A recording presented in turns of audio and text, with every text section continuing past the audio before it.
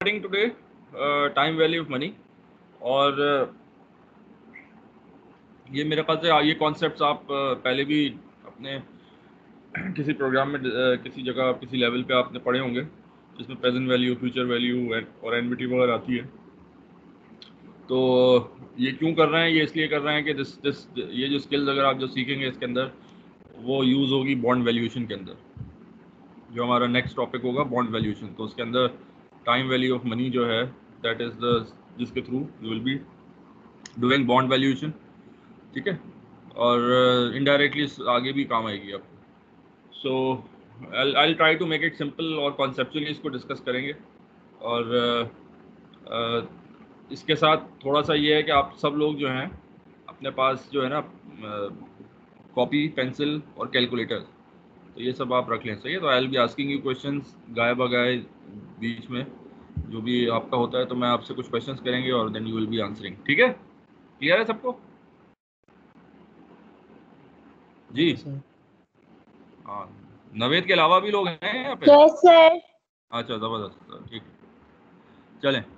सो so, क्या है? Time value money will be discussing future value present value future value क्या होती है कि जब आप किसी एक टाइम पे खड़े हुए हैं और उसके आगे फ्यूचर में उसकी कोई वैल्यू निकालनी है तो फ्यूचर वैल्यू कहते हैं। प्रेजेंट वैल्यू मीन्स के आप जिस टाइम पे खड़े हैं उससे पहले की जो वैल्यू है वो देखनी है उसको प्रेजेंट वैल्यू कहते हैं। एनविटीज एनविटीज क्या होती हैं? एनीबडी कोई बताएगा? किसी को आइडिया है? जी। Sir, no idea. No idea okay annuities जो है basically equal Uh, sir, does it have something to do with insurance? नहीं नहीं नहीं नहीं नहीं. अच्छा। चले। सो so, वो इक्वल पेमेंट्स होती हैं यानी एनविटी का मतलब एनुअल इक्वल पेमेंट्स एनुअल नहीं मतलब इक्वल पेमेंट्स तो कभी कभी अगर कोई ऐसी कैश फ्लो है जिसके अंदर टाइम वन पे टाइम टू पे टाइम थ्री पे जो है इक्वल पेमेंट्स होती हैं तो उसको एनविटी कहलाते हैं। So how to deal with annuity will be discussing there then rate of return वगैरह है और फिर लास्ट एमोटाइजेशन है। तो एमोटाइजेशन भी हम डिस्कस करेंगे। ये वो एमोटाइजेशन नहीं है जो अकाउंटिंग में होता है। Uh, ये ये दूसरी चीज़ है जिसको हम जो हम रियल स्टेट फाइनेंसिंग या कार फाइनेंसिंग या कंज्यूमर फाइनेंसिंग में हम आप यूज़ करते हैं। सो so, तो टाइम वैल्यू ऑफ़ मनी के लिए सबसे पहले तो समझना बड़ा ज़रूरी है टाइम लाइन को। सही ना? होपफुली ये स्क्रीन आपको विजिबल होगी। तो ये जो टाइम लाइन आप देख रहे हैं जो टाइम लाइन है इसके अंदर क्या क्या चीज़ें होती हैं, पहले तो ये देखें सबसे पहले तो टाइम होता है। दिस इज़ कॉल्ड पीरियड्स अब ये पीरियड जो है वो ज़रूरी नहीं है कि एनुअल हो, ये सेमी एनअल भी हो सकता है मंथली भी हो सकता है सेमी एनुअली क्वार्टरली भी हो सकता है डेली भी हो सकता है, ठीक है? बट दे हैज़ उनका जो इंटरवल है वो इक्वल होगा। तो पीरियड का जो अगर हम ये कहें कि व्हाट इज़ पीरियड तो पीरियड ये वो चीज़ है जिसके अंदर इक्वल इंटरवल पे इंटरवल होगा और वो could it could be anything सही है? सो अमूमन ये एनुअल दिया जाता है, लेकिन कोई भी कोई भी पीरियड हो सकता है डिपेंडिंग अपॉन द कंपाउंडिंग ठीक है?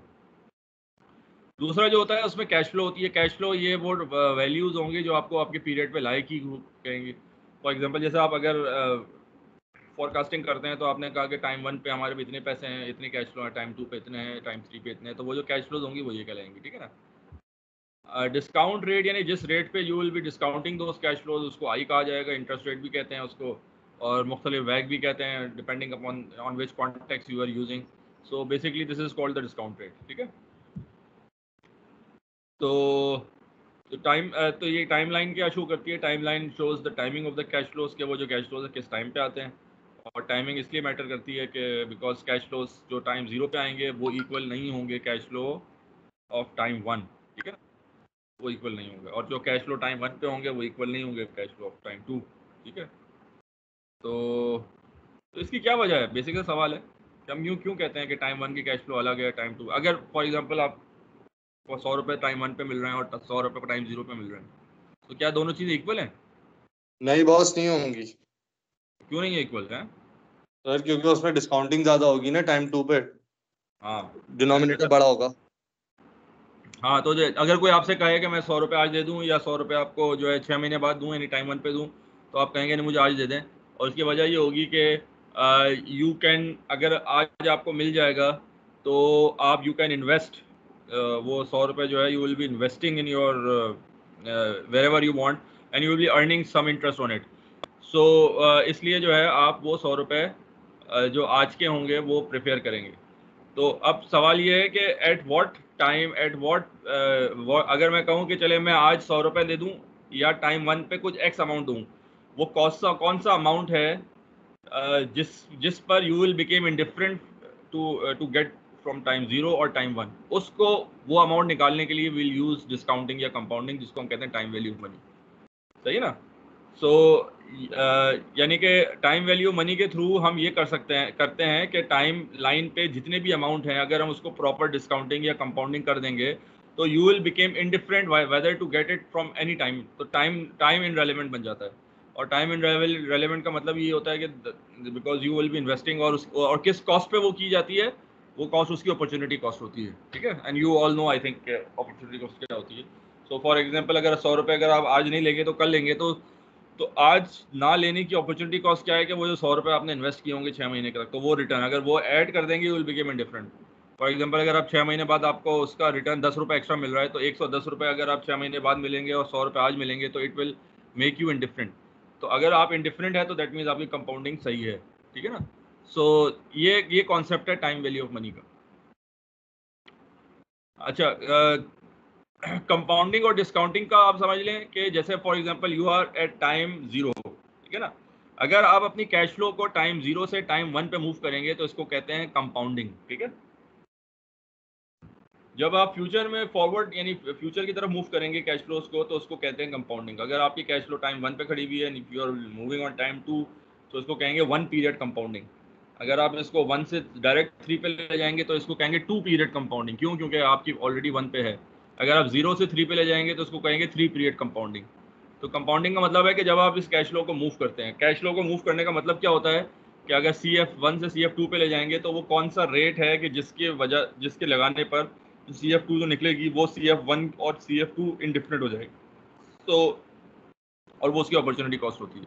सो उसको कहते हैं compounding when you when you are moving the cash flow forward that is called compounding similarly when you are moving the cash flow backwards उसको हम कहेंगे डिस्काउंटिंग ठीक है? तो अगर सी एफ़ वन से आप सी एफ़ ज़ीरो पे ले जाएँगे तो उसको हम डिस्काउंटिंग कहेंगे। क्लियर है? ये बात समझ में आई? कोई सवाल है तो पूछ। लें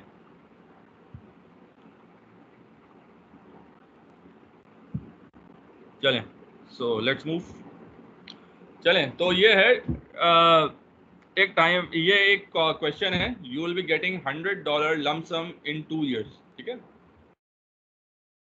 और दूसरा ये है कि you will in three years you will be getting ordinary annuity अब इसका इसका ज़रा टाइम लाइन फॉर एग्जांपल अब ये सवाल है। लेट लेट अब मैं आपसे कहता हूँ कि हम इस सवाल को कैसे सॉल्व करेंगे? अगर मैं सवाल में ये कहूँ कि आपको जो है दो साल बाद सौ रुपये मिलेंगे ठीक है? जो आपको दो साल बाद जो सौ रुपये मिलेंगे तो उसकी आज की वैल्यू क्या है? ठीक है ना? ये सवाल है। ठीक है? So if getting hundred hundred after two years years, is the present value present value means आज की वैल्यू आज की वैल्यू का मतलब है कि टाइम ज़ीरो पे जो वैल्यू होगी। ठीक है? तो क्या निकलेगी वैल्यू कैसे करेंगे? इसके लिए जो है आप जो है आ, पहले तो टाइमलाइन बनाएँगे तो टाइमलाइन के अंदर यू विल गेट आप ये ये आपने टाइमलाइन ड्रॉ की जिसमें जो है हंड्रेड आपने टाइम टू पे रखे। अच्छा अब आपको करना क्या है? देखना है कि वेदर यू आर कंपाउंडिंग और डिस्काउंटिंग तो इसमें क्या हो रही है? डिस्काउंटिंग हो रही है कंपाउंडिंग हो रही है? कंपाउंडिंग कंपाउंडिंग क्या हो रही है? कंपाउंडिंग कंपाउंडिंग कंपाउंडिंग हो रही है। हाँ? जी सर कंपाउंडिंग आप कह रहे हैं कंपाउंडिंग हो रही है। जिशान आप क्या कह रहे हैं? सर कंपाउंडिंग हो रही है। कंपाउंडिंग हो रही है। और कोई? कंपाउंडिंग हो रही है सर। अमार आप भी कह रहे हैं कंपाउंडिंग हो रही है। अच्छा। नहीं नहीं sir I think I think आप कह रहे हैं कि ज़ीरो पे क्या होगी? तो दिस मींस डिस्काउंटिंग हो रही है सर। हाँ डिस्काउंटिंग डिस्काउंटिंग हो। रही है। यस यस देखिए हम सवाल डिस्काउंटिंग और कंपाउंडिंग में ये नहीं है कि आप खड़े हुए कहाँ हैं। व्हाट इज़ योर डेस्टिनेशन पहले तो ये देखें ना। तो हम हम जो है टाइम टू पे खड़े हुए हैं लेकिन व्हाट इज़ आवर डेस्टिनेशन हमें जाना कहाँ है? हमें जो है टाइम ज़ीरो पे जाना है। तो what is the present value हमने कहा ना? तो इसका मतलब है कि हंड्रेड को जो है डिस्काउंट करेंगे। कितने पीरियड करेंगे? Zero two times zero two times. Discounting two periods yes ठीक है ना? तो इस हंड्रेड को टू पीरियड डिस्काउंट करेंगे। ठीक है? अगर मैं सवाल कहूँ कि व्हाट विल बी यानी you will be getting hundred after two years what will be its future value after three years तो क्या करेंगे हम? टाइमलाइन में। That will be compounding. Sir. Three that period will be compounding ठीक है? Three period तो पहले आप टाइमलाइन ड्रॉ करेंगे तो तीन पीरियड आगे ले जाएँगे तो दैट मीन्स कि टाइम फाइव पर आ जाएगा तो। So you will be moving from time two to time five तो जब आप टाइम फाइव पे ले जाएँगे तो you will be compounding three periods ठीक है? यहाँ बात समझ में आ गई? मैं अब आपको थोड़ा सा ना कैसे करते हैं डिस्काउंटिंग कंपाउंडिंग उसका फॉर्मूला बता दूँ ठीक है? ना तो ये ये फॉर्मूला है। कंपाउंडिंग अगर आप करेंगे तो फ्यूचर वैल्यू निकालेंगे। तो कंपाउंडिंग का जो रिज़ल्ट है that is future value future का मतलब ये है कि जिस टाइम पे आप खड़े हुए हैं उस टाइम से अगली वैल्यू जो है आगे आगे की वैल्यू है वो फ्यूचर वैल्यू तो फ्यूचर वैल्यू के लिए इनपुट क्या चाहिए? प्रेजेंट वैल्यू यानी जिधर आप खड़े हुए हैं। जो जिस कैश फ्लो को मूव करना है वो यहाँ पे। तो अगर हंड्रेड की कैश फ्लो है तो यहाँ पे हंड्रेड लिख देंगे। One plus I I is the discount rate जिस रेट से आप कंपाउंड करेंगे। This is basically the opportunity cost ठीक है? एज इफ़ कि अगर आपको अगर मैं आपसे सवाल करूँ कि आज आपको सौ रुपये मिल रहे हैं और एक साल बाद आपको कितने रुपए मिले कि आप वो पैसे और सौ रुपए के अंदर इंडिफरेंट हो जाएँ। ठीक है? तो वो आप ये देखेंगे कि अगर मैं एक सौ रुपये लूँगा और मैं उसको एक साल के लिए इन्वेस्ट करूँगा तो लेट सपोज़ मुझे दस परसेंट रेट पे दस रुपये एक्स्ट्रा मिलेंगे। तो मैं एक सौ दस हो, जाएँगे। अगर मैं इनको ऑफ़र करूँ कि आपको टाइम ज़ीरो पे जो है सौ रुपये मिल रहे हैं और टाइम वन पे एक सौ दस रुपये मिल रहे हैं तो then you will become indifferent फिर आप इनडिफरेंट हो जाएँगे. You you will not be making the decision क्योंकि आपके लिए दोनों जो हैं बराबर हो जाएँगे वैल्यू के हिसाब से. तो उसको निकालने के लिए 110 का फिगर लाने के लिए यू नीड दिस कंपाउंडिंग तो उसके लिए करना क्या होगा? Present value which is hundred यहाँ रखेंगे. One plus I I is the rate यहाँ पे जो डेसिमल में आएगा. अगर टेन परसेंट है तो पॉइंट वन आएगा. और raise to power n n क्या है? नंबर ऑफ़ पीरियड्स ठीक है? तो अब आप मुझे बताएँ कि और डिस्काउंटिंग कैसे करेंगे? डिस्काउंटिंग के लिए क्या करेंगे? बिल्कुल यही है कि अगर हम मैथमेटिकल इक्वेशन देखेंगे तो वन प्लस आई को इधर ले जाएँ एफ़ पी के डिवाइड कर देंगे तो will be getting this F P यानी फ्यूचर वैल्यू है उसको वन प्लस आई से डिवाइड कर देंगे will get the present value clear है?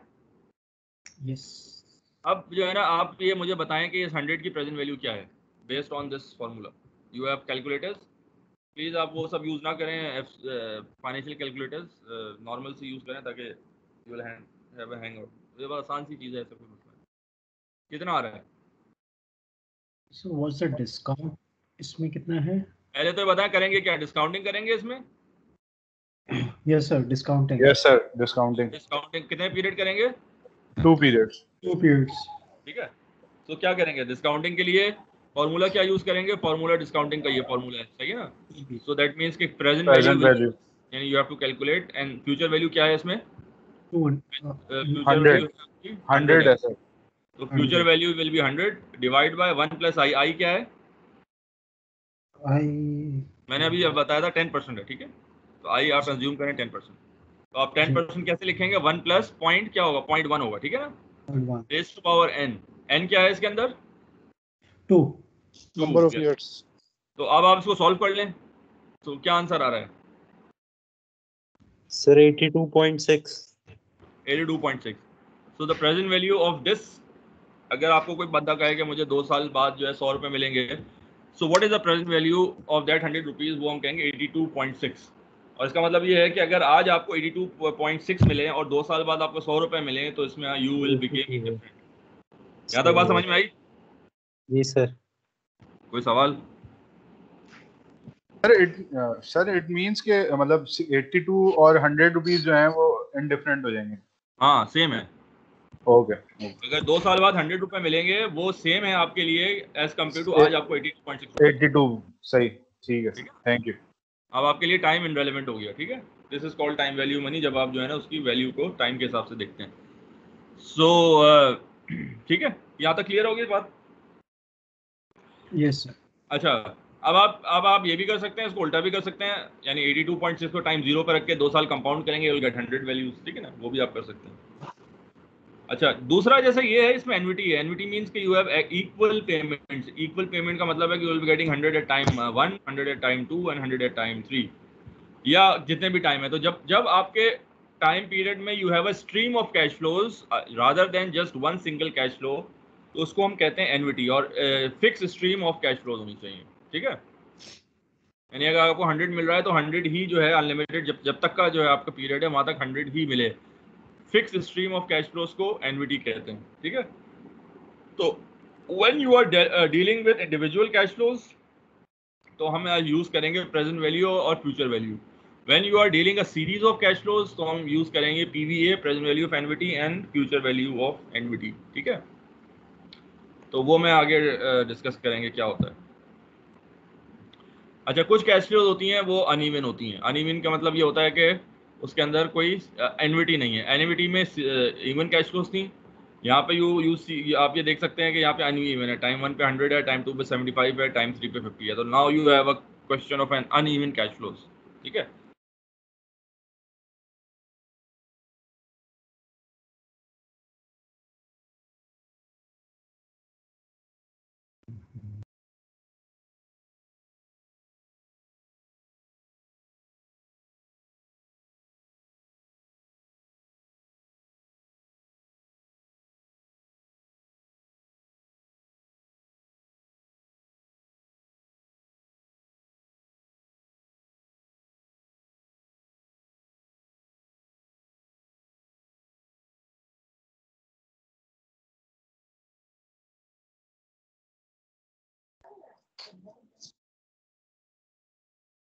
हेलो सर की आवाज़ नहीं आ रही ना? हाँ नहीं आ रही चलो। आवाज़ नहीं आ रही। और फ्यूचर वैल्यू खराब हो जाती है हमारी।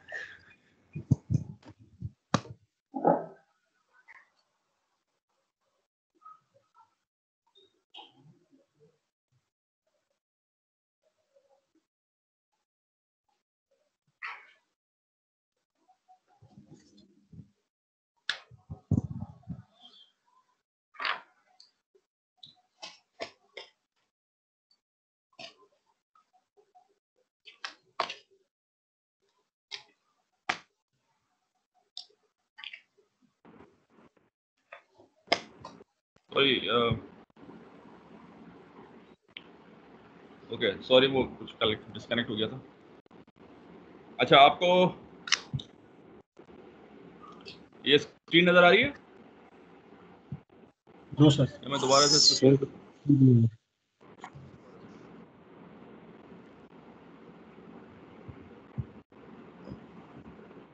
ओके नाउ आपको नज़र आ रही है?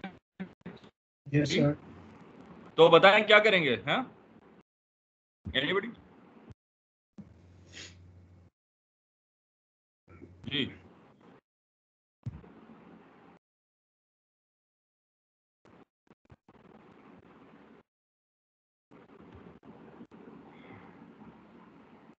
किसी को कोई आइडिया कोई मेथडोलॉजी बता दे किस तरह करेंगे इसको? ना ये स्ट्रीम है। इंडिविजुअल डिस्काउंटिंग कर सकते हैं? हाँ। नंबर वन गुड पहला तो ये है कि इसकी जो है ना डिस्काउंटिंग करेंगे ठीक है ना? तो 50 की डिस्काउंटिंग होगी। पहला वैल्यू नहीं तो होगी 50 है। नहीं होगी। हाँ नहीं होगी सर। क्यों नहीं होगी? क्यों नहीं होगी? टाइम होगी ज़ीरो आज आज जो पैसे की वैल्यू है उसको हम हाँ, क्यों डिस्काउंट हाँ यानी वो टाइम ज़ीरो पे ही है तो आपने किसी बिल्कुल यानी कि वो टाइम ज़ीरो पे खड़ा हुआ है और आपको कहीं और मूव भी नहीं करना है तो अपने टाइम पे जो खड़ा हुआ है उसको आप नहीं करेंगे तो डिस्काउंटिंग सिर्फ़ उसकी होगी कि जिसको जो है आप मूव कर रहे हो।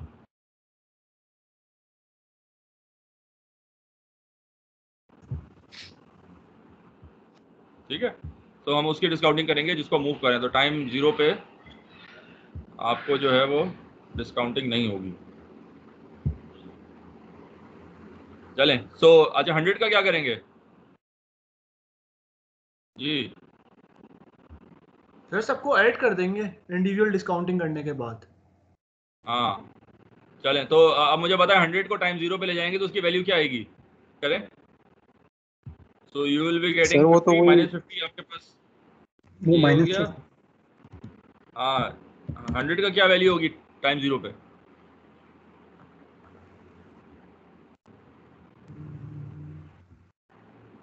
जी। नाइन्टी पॉइंट नाइन्टी सर 90.90 ठीक है ना? 90.9 ठीक है?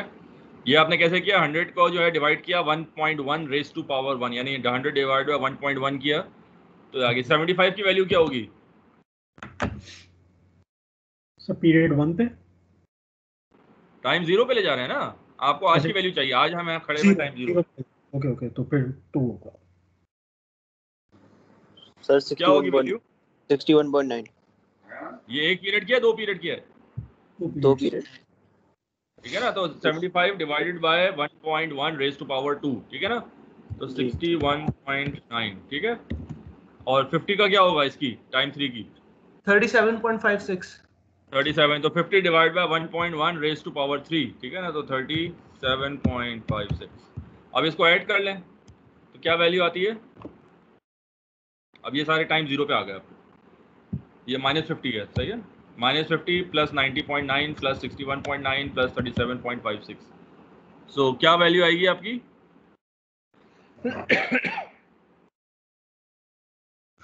सर 140 के आसपास आएगी। चलें ठीक है? 140.36 ठीक है तो इस तरह से अगर आपके पास अनइवन कैश फ्लोज हैं तो you can calculate the present value of all the future cash flows अब इसकी एप्लीकेशन आपको मालूम है जैसे आप कोई भी इन्वेस्ट करते हैं तो you will be getting the outflow and then this is the return अगर आप निकाल लेंगे तो कोई भी कोई भी प्रोजेक्ट की आपको प्रेजेंट वैल्यू निकाल सकते हैं। तो this is in in a way it's also NPV of a project ये भी आप कह सकते हैं। ठीक है ना? अगर अगर आपके आउटफ्लो है फिफ्टी डॉलर्स की और उसके बाद ये आपकी इनफ्लोज हैं। सही है? सो so, जी ये सवाल इसका जवाब बताएँ क्या है? जी। ये आपके पास क्या है? Present value present value. आपको निकालना क्या है? फ्यूचर वैल्यू फॉर थ्री यानी कंपाउंडिंग फॉर थ्री। जी जी तो आप कैलकुलेट प्लीज़ कितनी आएगी वैल्यू? कैलकुलेट करें। कैसे करेंगे? वन प्लस 1.1 की पावर 3 into 100 हाँ 1.1 करेंगे 10 परसेंट रेट है तो 1.1 raise to power 3 multiply by 100 ठीक है? तो क्या वैल्यू आ रही है? 133.1 अच्छा 133.1 गुड तो this is the future value तो अगर आपके पास 100 है अगर आपसे कोई साल, साल का करे कि अगर मैं आज आपको सौ रुपए दूँगा तो तीन साल बाद उसकी वैल्यू क्या होगी? तो उसकी वैल्यू होगी 133.1 सही है? क्लियर है यहाँ तक? पर अगर ये कंपाउंडिंग नहीं हो रही होती तो 130 हो जाती फिर। अगर क्या हो रही होती? तो इंटरेस्ट अमाउंट हाँ। इस- अब इसको अब हम ये देखें Compounding 133.1 की थोड़ी सी वो कर लें डी का डीकम्पोजिशन कर लें उसकी ना। इसमें क्या क्या है? तो जैसे हम यहाँ लिखा हुआ है कि 133.1 इज़ द टोटल वैल्यू ठीक है ना? उसके अंदर क्या है? अगर आपने आज सौ रुपए इन्वेस्ट किए तो you will be getting hundred rupees back so 133 में से 100 जो है वो आपका प्रिंसिपल है जो आपने इन्वेस्ट किया तीन साल के लिए, ठीक है ना? अच्छा दूसरा क्या है? थर्टी रुपीज़ आपके इंटरेस्ट है, क्योंकि आपने पहले साल यूज़ किया। यानी आप ये समझें कि यू यू आर अज्यूमिंग कि whatever you are getting in return it will be reinvested at the same rate ये जो हमने अजम्पशन किया है थ्री तीन साल के कैश फ्लोज निकालनी है, बीच में कुछ नहीं है तो इसके अंदर हमने एक अजम्पशन ये किया है कि बीच में जो भी कैश फ्लो आ रही हैं, वो री इन्वेस्ट हो जाएँगी सेम रेट पे। फॉर एग्जांपल अगर आपने सौ रुपये जो है टाइम ज़ीरो पे है तो एक साल बाद आपकी वैल्यू कितनी हो जाएगी? एक सौ दस रुपये हो जाएगी। तो दस रुपये आपका प्रिंसिपल हो गया। वो आपने दोबारा उसी रेट पे इन्वेस्ट कर दिया। तो दूसरे दूसरे पीरियड पे आपकी वैल्यू कितनी हो जाएगी? दस रुपये दोबारा मिल जाएँगे तो वो बीस रुपये हो जाएगी। फिर टाइम टू को आपने दोबारा री इन्वेस्ट कर दिया फॉर द थर्ड ईयर तो आपकी कितने हो जाएगी? थर्टी तो अगर हम टोटल बात करें, तीन साल के लिए आपने सौ रुपये इंटरेस्ट किए किए तो इसको कहेंगे वन थर्टी तो थर्टी रुपीज़ इज़ इंटरेस्ट और प्रिंसिपल इसको कहते हैं सिंपल इंटरेस्ट जो इंटरेस्ट प्रिंसिपल पे चार्ज होता है, उसको हम कहेंगे सिंपल इंटरेस्ट सही है? सो so ये हो जाए one thirty and what is three point one ये क्या चीज़ है? थ्री पॉइंट वन क्या है? वो ये है कि जब आपने पहले साल आपको दस रुपये मिल गए तो जब आपने यहाँ पे इन्वेस्ट किया पहला साल में आपने सौ रुपये भी इन्वेस्ट किए और वो दस रुपये भी इन्वेस्ट किए। तो जो जो दूसरे साल में आपने जो सौ रुपये पे मिले, दस रुपये और दस रुपये पे आपको एक रुपया मिल गया। ठीक है? तो वो एक रुपया जो है आपका कंपाउंड इंटरेस्ट हो गया। फिर दूसरे से तीसरे साल पे जब आप गए तो आपने दस रुपये उसके प्रिंसिपल पे मिले। इसका जो एक एक रुपया यहाँ मिला था, वो एक पीरियड और कंपाउंड हो गया तो उसका दो रुपये बन गए, समझ लें। और जो दो रुपए का जो एक रुपया था वो समझ लें, वो एक पीरियड और कंपाउंड हो गया, यानी कि जो टाइम टू पे जो आपको इंटरेस्ट मिला था, वो भी आपने इन्वेस्ट कर दिया टाइम थ्री पर। So will be getting three rupees और कुछ जो अगर एग्जैक्ट किया जाएगा तो will be getting three point one rupees extra and that three point one is which is called compound interest compound interest क्या होता है, जो इंटरेस्ट के ऊपर इंटरेस्ट चार्ज हो रहा है। सो बेसिकली हंड्रेड रुपीज़ इस प्रिंसिपल जो वन थर्टी थ्री में आपको मिलेगा। हंड्रेड रुपीज़ का प्रिंसिपल मिलेगा थर्टी रुपीज़ का सिंपल इंटरेस्ट मिलेगा बिकॉज़ ये आपने तीन साल तक सौ रुपये को इन्वेस्ट किया हर साल आपको दस रुपये मिल रहे हैं तो टोटल थर्टी रुपीज़। और थ्री पॉइंट वन रुपीज़ वो है कि जो आपने दस रुपये जो री इन्वेस्ट किए आपने हर साल यानी कि टाइम वन के दस रुपये दो पीरियड किए और टाइम टू के दस रुपये एक पीरियड किया तो, तो टोटल तीन पीरियड आप दस रुपये आपने किए तो उनकी जो कंबाइन वैल्यू होगी वो होगी three point one so this is how you can decompose जो टोटल सर, 133 सर जी। सेकंड सर एक सेकंड सर ये आपने जो है हंड्रेड को इनटू ये जो है one point one raise to the power three कर कर दिया हाँ। सही है सही अगर से ये जो है हम लोग को कि, किस तरह का क्वेश्चन है तो हमको ये करना है और अगर से अ, किस तरह का क्वेश्चन है तो हमको ये करना है कि one one hundred into one point one किया फिर उसको बाद प्लस करके उसको किया जो आंसर आया उसको हमने किया वन जो भी आंसर हमारे पास आएगा उसको फिर वन पॉइंट वन किया और फिर फाइनली जो वापस आंसर आएगा उसको वन पॉइंट वन से मल्टीप्लाई करेंगे। थोड़ा कंफ्यूजिंग है सर ये दोबारा जरा समझाते हैं। देखिए हमने तो सिंपल सा किया है। इसकी अगर फॉर्मूला है वो तो हमने क्या किया है? इसका फॉर्मूला सिंपल सा है हंड्रेड ठीक है ना? मल्टीप्लाई बाय यानी मल्टीप्लाई किया under bracket one plus point zero point one ठीक है ना? Raise to power three sir to ये ये हमने किया है ठीक है? कंपाउंडिंग हाँ ये ये जो आपने किया ना इसका आंसर आ रहा है one thirty three point one. जी जी ये ये हम तक जी यहाँ तक क्लियर हो गया। मैं जो आपको बता रहा हूँ कि ये जो 133.1 आया है ना ये इसमें क्या क्या चीज़ शामिल है? मैंने सिर्फ़ इसकी डीकम्पोजिशन की है। इसको मैंने अलग से नहीं निकाला है। ठीक है ना? अच्छा, निकाला तो आपने। ये इस ये जो इक्वेशन है ये आपको तमाम प्रिंसिपल सिंपल इंटरेस्ट और कंपाउंड इंटरेस्ट सब निकाल के एक बता देगी कि भाई अगर आपने सौ रुपए तीन साल के लिए इन्वेस्ट किए हैं तो टोटल जो बेनिफिट आपको होगा सब चीज़ों का वो ये होगा। अब इस बेनिफिट में क्या क्या कंपोनेंट्स हैं उसको मैंने एक्सप्लेन कर दिया। ये समझ में आई बात? अब इसमें जी। जी एनीबडी सालिक आप कह रहे थे कुछ? क्या कह रहे थे? यस सर ये यही मेरा क्वेश्चन था। इसमें जो आपने इसको अ, मैं बस ये पूछना चाह रहा हूँ जो आपने इसको जब डीकम्पोज करके ये जब इसका ब्रेक डाउन करके दिखा रहे हैं जो हमारे हाँ। 133 को तो कहते हैं मैं- बस ये पूछना चाह रहा हूँ इसने इसी तरह किया ना कि हम पहले 100 को इंटू वन हाँ। किया सही जो आंसर आया होगा उसने इसको फिर उस आंसर को इंटू वन किया और फिर जो हाँ, आंसर हाँ ऐसे है है। बिल्कुल ऐसे ये भी कर सकते हैं आपने यानी 100 को 1.1 पे कर दिया तो जो भी आंसर आया जैसे 110 आ गया उसको फिर 1.1 पे कर दिया तो फिर आपका आ गया 121 आ गया फिर उसको 1.1 पे कर दिया तो 133 आ गया सो so, इसको भी कर सकते हैं। सो so, यानी कि इसमें हमने जो है ना हर हर साल जो है प्रिंसिपल पर इंटरेस्ट आपने री इन्वेस्ट कर रहे हो। ये भी ठीक है। सही है? Thank you sir thank you और कोई सवाल इसके अंदर? Yes sir I have a question sir actually I have two question sir एक तो सर ये कि we are completely relying on the interest percentage ठीक है? तो दिस मींस कि in the future according to the interest rates the real value can differ right yes yes good हाँ बिल्कुल। And the other thing is कि sir ये तो हम कर रहे हैं कि when the interest rate is constant, हाँ। how we are going to ca- calculate the future value if the interest rate is changing uh, on every year? अच्छा अब इसमें आप एक चीज़ समझें कि इंटरेस्ट रेट जो है ना मार्केट में चेंज हो रहे होंगे लेकिन आपके लिए इंटरेस्ट रेट कांस्टेंट हो जाएँगे। कैसे? वो ऐसे हो जाएँगे लेट सपोज़ आपने 10 साल की फाइनेंसिंग ले ली ठीक है? आपने डील कर ली 10 साल की तो 10 परसेंट पे आपने फाइनेंसिंग ले ली। अब जाओ मार्केट में कोई भी इंटरेस्ट रेट हो आपको जो पेमेंट करनी है वो टेन परसेंट ही करनी है। तो आपके लिए जो फ्यूचर वैल्यू होगी you can calculate actually future value for longer period of time तो जब आपके रेट फिक्स हो जाते हैं जब आपने कोई डील कर ली है तो आपके लिए वो चीज़ कॉन्स्टेंट हो जाएगी। मार्केट में वो मूव होती होगी सारी बात है वो तो डेली चल रही होती है। जिस टाइम पे आपने डील कर ली आपके लिए वो it's kind of a snapshot तो आपके लिए उस पीरियड के लिए रेट फिक्स हो जाते हैं। तो इस वजह से जो है ना वो नेचर डिस्पाइट के वो रोज चेंज हो रही है लेकिन आपके लिए जिस पॉइंट पे आपने किया है उस पॉइंट पे इट इज़ फिक्स्ड. बात समझ में आई Naveed Got it, sir. But sir, in case of the insurance company, when the insurance company sells you their policies or anything like that, तो they says कि it will vary, the insurance premium will vary. तो उस case के अंदर फिर क्या होगा for example how they are असल में उसको कहते हैं फ्लोटिंग रेट तो फ्लोटिंग रेट में तो आपका वैल्यू करता है.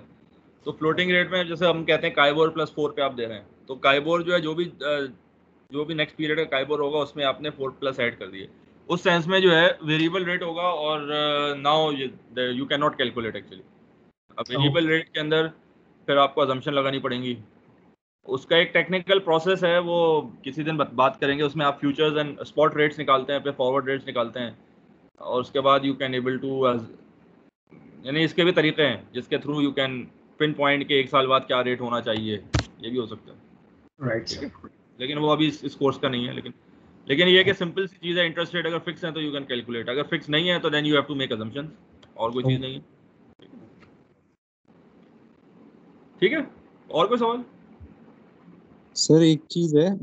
सर क्या ऐसा पॉसिबल है कि किसी भी केस में प्रेजेंट वैल्यू ज़्यादा हो फ्यूचर वैल्यू से हाँ अगर इंटरेस्ट रेट नेगेटिव हो। अच्छा सही अगर इंटरेस्ट रेट नेगेटिव हो तो आपकी प्रेजेंट वैल्यू ज़्यादा हो जाएगी। ठीक है ना? ठीक है ठीक है ठीक है चले और? ठीक और और एनी सर क्वेश्चन एक क्वेश्चन सर एक क्वेश्चन है ये सर सर अब जैसे जापान में जो इंटरेस्ट रेट नेगेटिव है तो। How does how does it work like थोड़ा सा बता बता सकते हैं कि कहते हैं किस तरह फिर होता है कि अगर हम लोग बैंक में रखवाते हैं तो हमको क्या पैसे पड़ते रखवाने के like how does it work भाई उसमें तो जब इंटरेस्ट रेट नेगेटिव होते हैं तो वो ऐसा होता है कि कंज्यूमर के लिए जैसे हम कहते हैं ना लाइबोर प्लस फोर या काइबोर प्लस फोर तो हम अगर कहेंगे काइबोर माइनस फोर हो जाएगा। सो so, ये होगा कि कंज्यूमर के लिए बैंक में जो रखवाना है वो लेट सपोज़ वो ऐसा होगा कि अगर आपने कोई बैंक में डिपॉजिट कराया तो छः महीने बाद जो है आपकी जो बजाय इसके इंटरेस्ट आपको मिलने के वो डिपॉजिट की वैल्यू कम हो जाएगी by the amount of interest basically ठीक है ना? तो इस तरह से चल रहा होता है। अगर से मैं लोन लेता हूँ तो मैं अगर से बैंक से लोन लेता हूँ तो हाँ। उल्टा मुझे बैंक को ज़्यादा मुझे बैंक ज़्यादा पैसे देगी। हाँ उल्टा आपको ज़्यादा पैसे देगी। यस ठीक है ना? अगर नेगेटिव इंटरेस्ट है तो वो जो है आपको लेकिन ये डिपॉजिटर और लेंडर वाला रेट एक नहीं है इसके अंदर एक वो होता है इसका इसका स्पेक्ट्रम होता है ठीक है ना? तो। हाँ, ठीक है ना?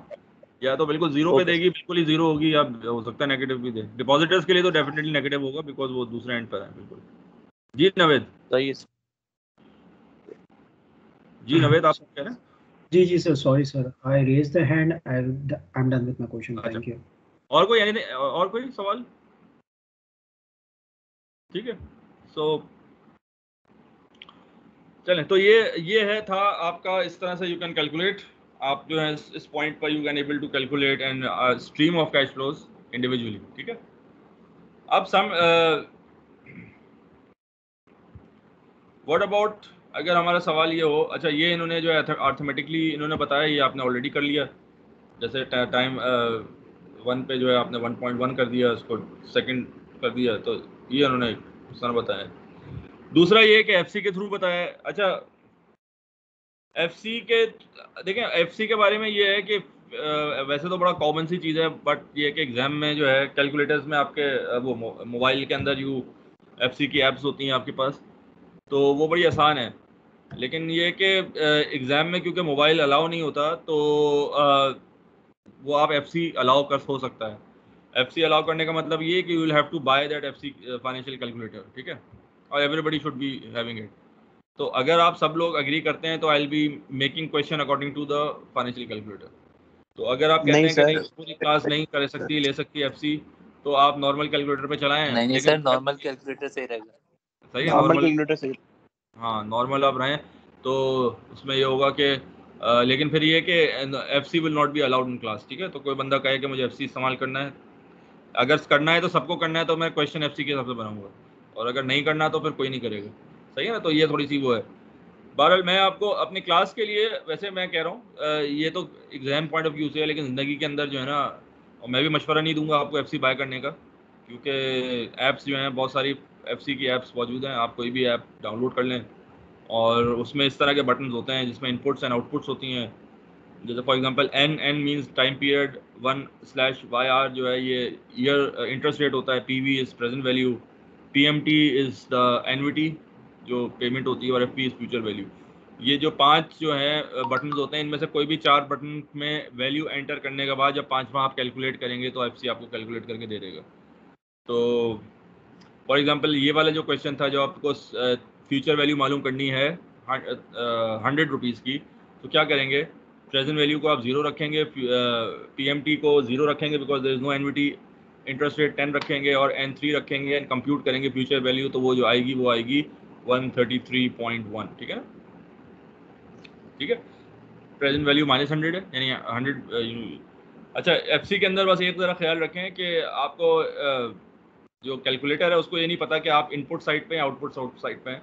तो कोई भी एक चीज़ आपको नेगेटिव करनी पड़ेगी। अगर इनफ्लोज को नेगेटिव करेंगे तो आउटफ्लो पॉजिटिव आएगी। अगर आउटफ्लो को नेगेटिव करेंगे तो इनफ्लो यानी कि यू हैव टू इनपुट आप नेगेटिव कर दें, तभी आउटपुट आएगी। अगर ये पॉजिटिव होगी तो आउटपुट जो है ना, वो डिफरेंट आ सकती है। सही है ना? क्लियर कोई क्वेश्चन सो आप अपने तौर पे एफ़ सी यूज़ कर सकते हैं। वेल एंड गुड बहुत आराम से कर सकते हैं।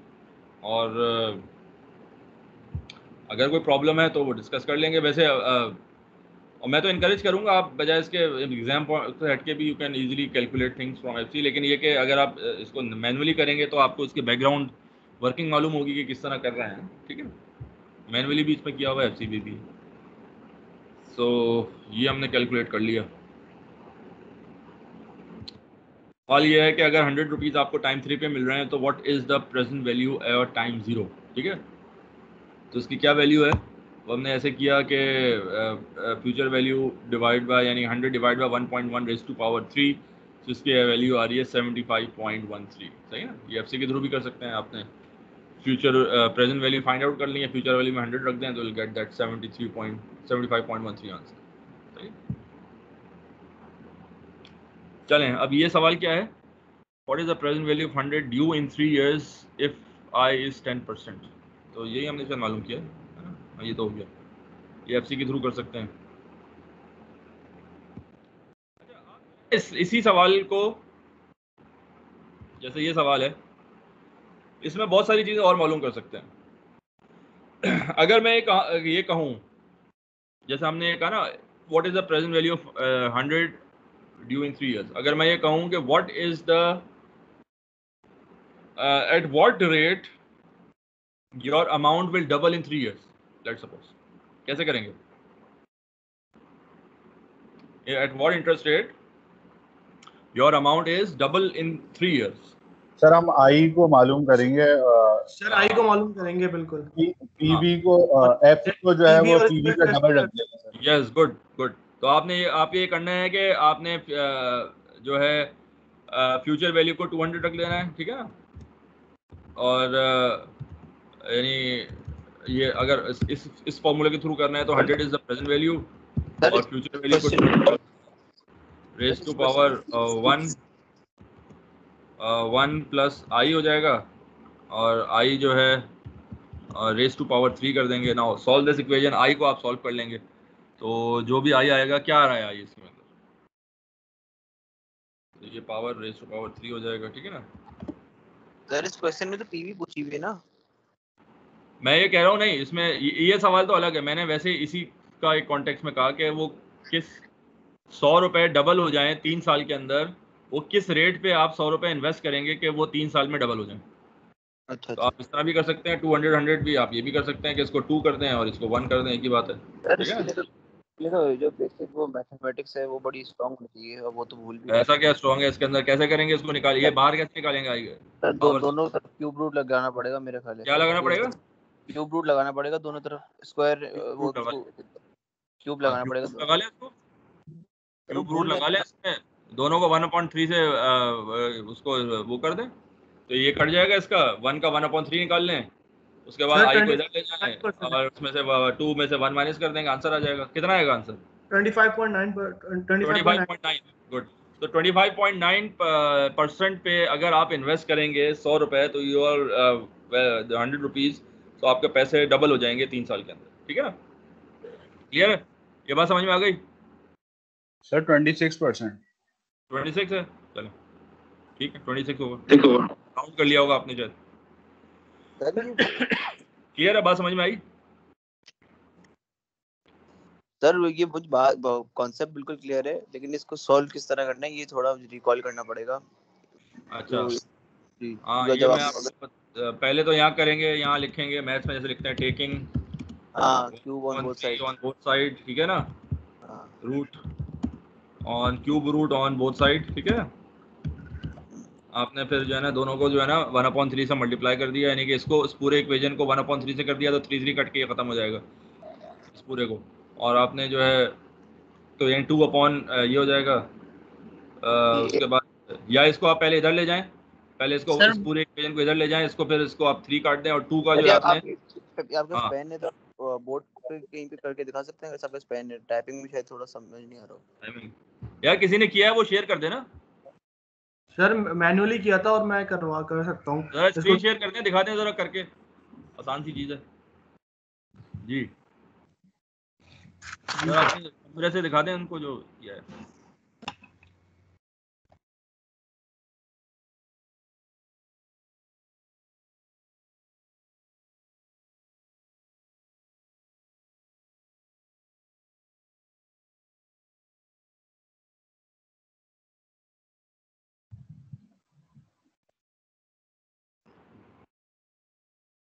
मैं अपनी शेयरिंग बंद करूँ क्या? सर मैं कॉपी पे करके ना इसको डाल देता हूँ ग्रुप के ऊपर। अच्छा चलें ठीक है ठीक। वो ग्रुप पे डाल देंगे। बड़ा आसान है वैसे इसमें तो कोई मैथमेटिक्स इसमें कुछ नहीं है। आपने जो है पहला पहला स्टेप आप क्या करेंगे कि ये जो वैल्यू है ना ये वाली चीज़ इसको आप ले जाएँगे। पहला तो आप ये करेंगे पहला स्टेप आपका ये होगा कि इसको आपने इधर ले गए ठीक है ना? ये ये चीज़ जो है ना, ये ये डिवाइड हो रही है मल्टीप्लाई हो जाएगी। तो यानी कि फिर ये बन जाएगा, ये पूरी चीज़ आ जाएगी। ये पूरी चीज़ आ जाएगी यहाँ पे, ठीक है ना? और यहाँ पे इज़ इक्वल्स टू टू आ जाएगा, ठीक है ना? अब अब सेकंड पे क्या करेंगे? सेकंड में ये करेंगे टेकिंग जो है cube root on both side ठीक है ना? सेकंड पे हो जाएगा यहाँ पे क्यूब रूट कर लें इसको, सही है ना? तो यानी कि दैट मीन्स के टू को जो अभी आपने रूट ले लिया वन अपॉन थ्री से वो कर देंगे उसके एक्सपोनेंट ले लेंगे वन अपॉन थ्री यानी कि हमने यहाँ पे ये किया कि टू को जो है वन अपॉन थ्री कर दिया इस साइड पे भी. और इसको भी जो है ना इसको भी पूरा जो है ना आपने इसका रूट ले लिया. वन अपॉन थ्री का ना. सर ग्रुप पे डाल दिया व्हाट्सएप पे व्हाट्सएप पे डाल ठीक है ना वो आपने डाल दिया होगा अब ये होगा कि ये कट जाएगा तो ये चीज़ ये चीज़ वन प्लस आई रह जाएगी. ये वन प्लस आई रह जाएगी और यहाँ पे जो है टू का जो भी वन थर्ड रूट आएगा, वो रह जाएगा। देन आप जो है उसमें से वन माइनस कर देंगे विल गेट आई तो वो आ रहा है ऑलमोस्ट ये ट्वेंटी फाइव या ट्वेंटी सिक्स ऐसी कुछ आ रहा है। ठीक है ना? तो आप ये देख लीजिएगा ग्रुप पे उन्होंने डाल दिया। क्लियर है? कोई सवाल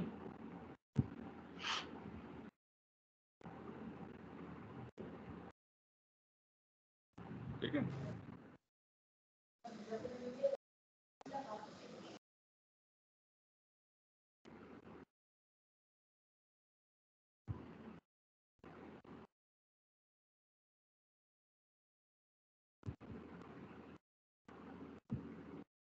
मैं इसको जो है शेयर कर देता हूँ। ये देखें। ठीक है ना? ये नज़र आ रहा है आपको?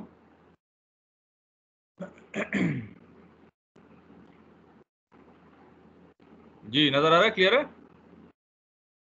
जी सर क्लियर है क्लियर सर थैंक यू चलें। आगे चलें।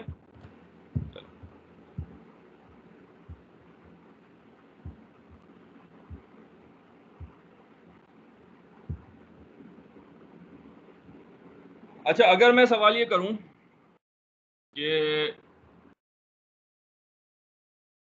if you invest your uh, money uh, at the rate of 15% how long will it take your money to double? आप क्या करेंगे? अगर आप 15 परसेंट पे सौ रुपए इन्वेस्ट करें तो कितने साल में ये सौ रुपए डबल हो जाएँगे? सर एन निकालेंगे इसमें एन निकालेंगे हाँ। सर अब एन निकालेंगे। तो अब उसके अंदर जो पहले आई था तो अब एन निकालेंगे। एन कैसे निकालेंगे? सर लॉग लेना पड़ेगा। लॉग लेना पड़ेगा। Taking log on both side जरा करें मैं इसको अभी लगा देता हूँ आप इतने करें इसको निकालें। ठीक है ना? तो taking log on both side करेंगे और जो है यू कैन कैलकुलेट तो ये ये जो है बड़ा आसान है इसके अंदर। ये चीज़ अगर कॉन्सेप्ट क्लियर हो तो आपको कोई भी चीज़ मालूम करनी है। चार में से कोई भी चीज़ present value future value I और एन इनमें से कोई भी चीज़ तीन चीज़ें मालूम हो आप चौथी चीज़ निकाल सकते हैं। प्रेजेंट वैल्यू फ्यूचर वैल्यू मालूम हो आई नहीं मालूम हो तो एन निकाल सकते हैं एन नहीं मालूम हो तो आई निकाल सकते हैं। कोई एक चीज़ फ्यूचर एफ़ का एक नहीं मालूम हो तो वो निकाल सकते हैं। ठीक है? तो अम्मार वो कर रहे हैं तो जैसे ही वो करते हैं, मैं वो भी शेयर कर देता हूँ।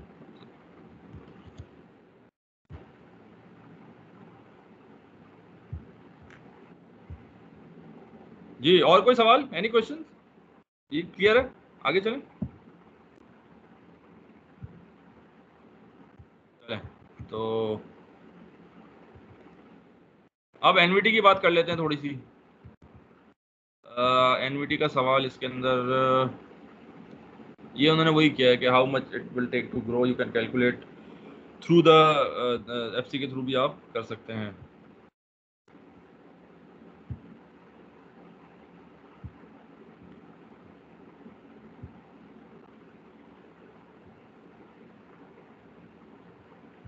अच्छा। अब हम एक बात करते हैं कि एनवीटी की बात करते हैं। लेट सपोज़ हमारे पास एक एनवीटी है।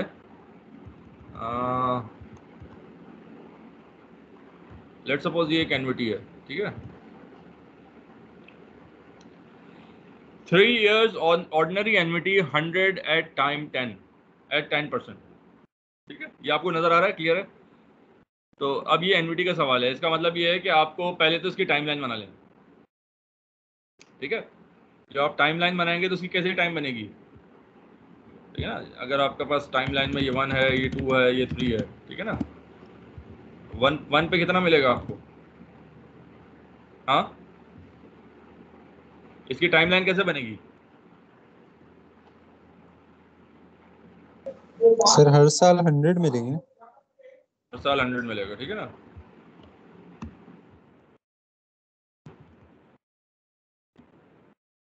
तो टाइम ज़ीरो पे क्या होगा आपके पास?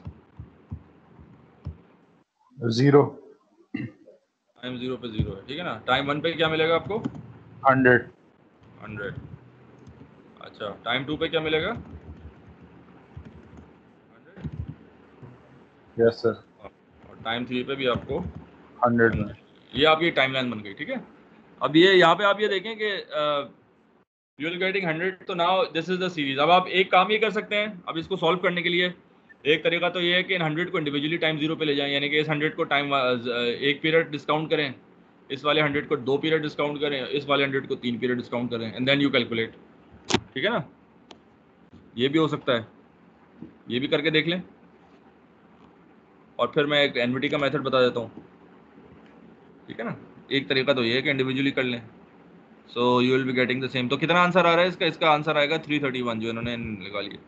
यानी कि ये हंड्रेड अगर जाएगा तो it will be I think ninety one हो जाएगा शायद आई थिंक ये एटी समथिंग हो जाएगा। तो जब आप तीनों को ऐड करेंगे तो will get three thirty one यही आ रहा है आंसर एनीबडी जिस अटेम्प्ट कर रहा है कोई?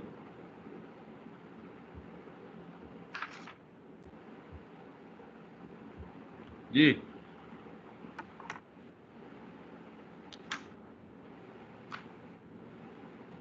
करें अटेम्प्ट जरा बताएँ कितना आ रहा है?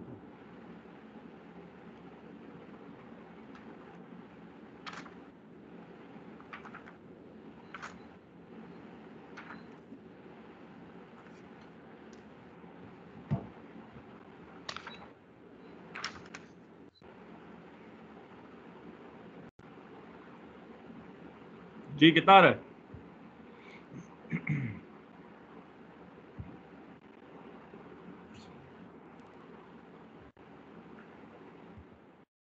चलें इंडिविजुअली बताएँ इस हंड्रेड की वैल्यू क्या आएगी? हाँ? इसकी प्रेजेंट वैल्यू क्या होगी पहले हंड्रेड की? Sir ninety point nine ninety point nine okay now second hundred की क्या होगी? Sir eighty two point six four eighty two point six four तीसरे हंड्रेड की क्या होगी? Seventy five point one three seventy five point one three. अब इन तीनों को ऐड करें कितनी आती है? जी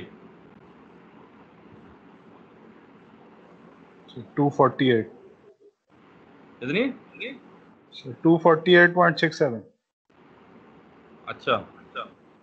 आ, अच्छा ये तो फ्यूचर वैल्यू मालूम की हमने प्रेजेंट वैल्यू निकाल ली। तो हाँ टू फोर्टी एट ही आएगी क्योंकि एनविटी अब तो इसकी प्रेजेंट वैल्यू आ रही है वो है two forty eight forty point six seven six seven ठीक है ना? ये और अगर हम फ्यूचर वैल्यू निकालेंगे तो क्या करेंगे? इस हंड्रेड को कंपाउंड करेंगे कितने पीरियड के लिए? थ्री पीरियड्स नहीं गलत। कितने पीरियड करेंगे?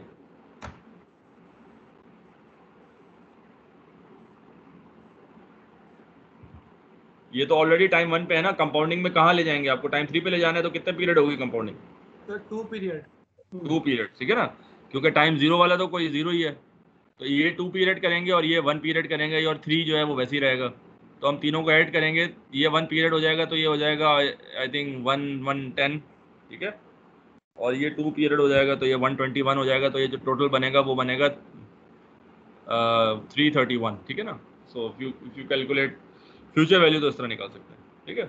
अच्छा अब इसमें जो है ये थोड़ा सा मसला है, अगर ये तीन साल नहीं होता, तीस साल होते थर्टी ईयर्स होते तो क्या करते इंडिविजुअली आप कर रहे होते। तो इसका शॉर्टकट है, वो मैं आपको बता देता हूँ, वो हमने पहले डिस्कस इसमें भी किया था। This is the annuity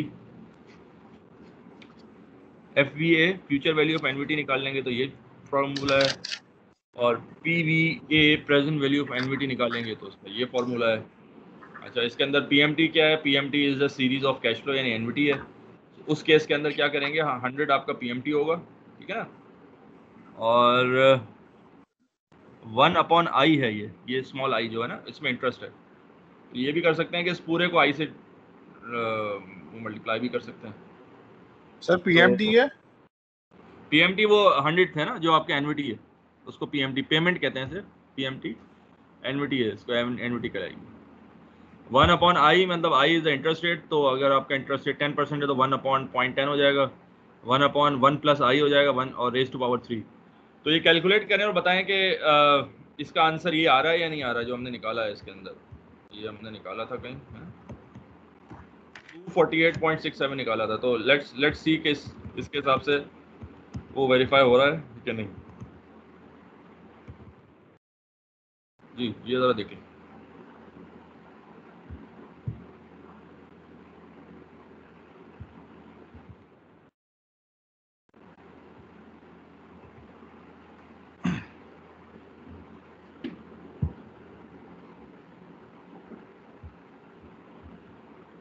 जी।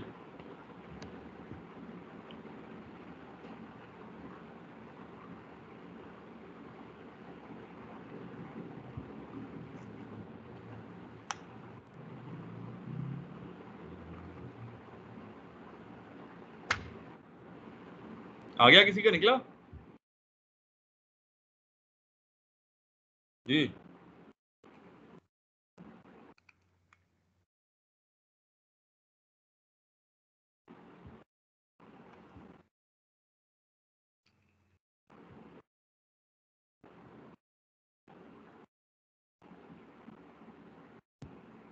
आया आपका answer? Hundred? One divide by point one, ठीक है? माइनस वन डिवाइड बाय ये पूरी इक्वेशन आ जाएगी।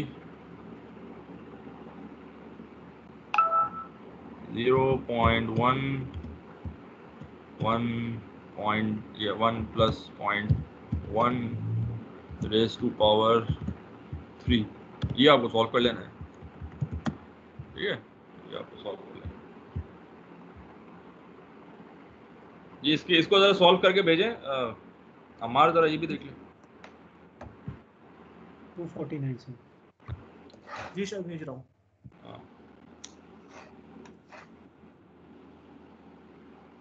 yes sir 249 is the answer कितना आ रहा है? 249 249 तो 248 पॉइंट समथिंग था तो यू नाउ इट्स वेरीफाई कि वो जो आपने जो कैलकुलेट किया था वो सेम आ रहा है ठीक है ना? अब हमारे इतने भेज देते हैं। इतने मैं उनका वो दूसरी वाली इससे पहले जो क्वेश्चन था वो दिखा दूँ।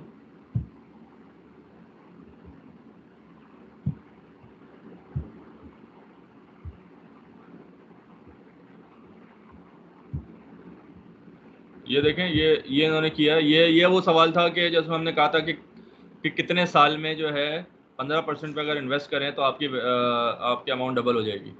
सो so, इन्होंने क्या किया कि यू स्टार्ट फ्रॉम दिस इस इक्वेशन में तो 200 जो है आपकी फ्यूचर वैल्यू थी 100 15 और एन थी।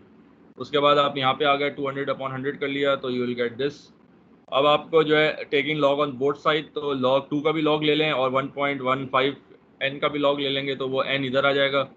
तो uh, फिर इन्होंने क्या किया कि N is equals to log two divide by log one so ये बन जाता है four point nine five years so अगर आप पंद्रह परसेंट पे सौ रुपये इन्वेस्ट करेंगे तो तकरीबन लगभग पाँच साल के बाद आपकी इन्वेस्टमेंट डबल हो जाएगी। राइट सो सिंपल सा मैथमेटिकल ऑपरेशन किया है इन्होंने और उसके बाद इन्होंने आंसर गुड क्लियर है? कोई सवाल?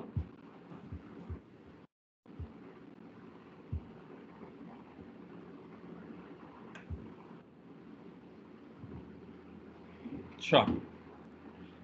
इसका आंसर भी आ गया है टू फोर्टी तो ये हमने वेरीफाई भी कर लिया वो हमारे भेज देते हैं तो मैं उसको भी दिखा देता हूँ आपको। सो so, इसी नाउ दिस एनवीटी की तरह आप ये फ्यूचर वैल्यू का भी यूज़ कर सकते हैं। Now if you want to ये थोड़ा सा आपको याद करने में होगा मसला आप दो तीन दफ़ा करेंगे इंशाल्लाह ये फार्मूले आपको याद हो जाएँगे। ये तो आपको याद ही होगा लेकिन ये ये दो फार्मूले तो यू कैन कैलकुलेट ठीक है?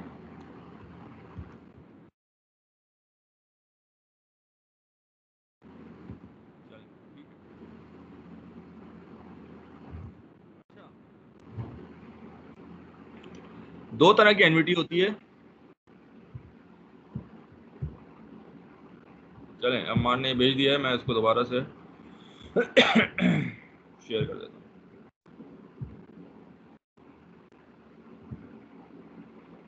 ठीक है? ये देखें, अम्मार ने ये किया है। Question three years ordinary annuity थी क्वेश्चन था। सौ डॉलर दस रुपए पे।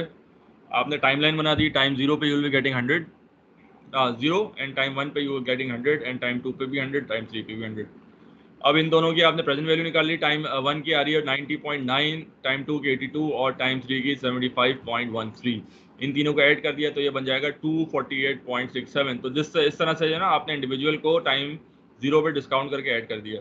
दूसरा मेथड क्या है? एनवीडी का फॉर्मूला यूज़ करने का फॉर्मूला आपने ये लिखा और इसके अंदर आपने वैल्यू पुट कर दी पीएमटी की जगह आपने हंड्रेड पुट कर दिया then one upon point one one upon point one ये सब आपने कर दिया. इसके बाद जो है हंड्रेड मल्टीप्लाई बाई ये आपने सॉल्व किया तो ये भी आ गया two forty eight point six eight और ये ऑलमोस्ट ये वेरीफाई हो गया। सो so, ये फार्मूला जो है ये अगर आपको लंबी कैलकुलेशन है तो you can use this formula it's a good handy shortcut ठीक है? क्लियर है? एनी क्वेश्चन इसमें कोई प्रॉब्लम चले गुड गुड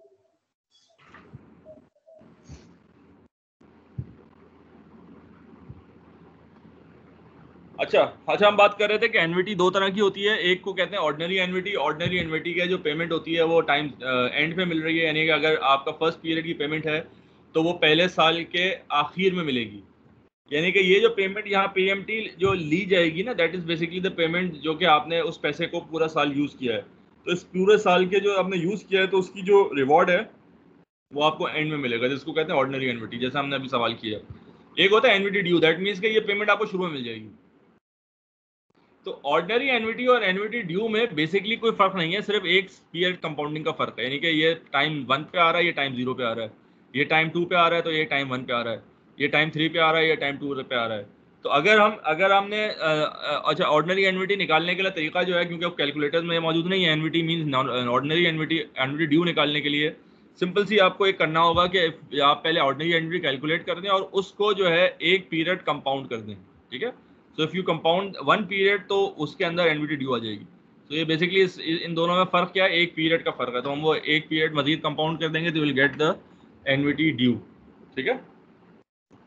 क्लियर है? क्वेश्चन एनविटी ड्यू होती क्या है?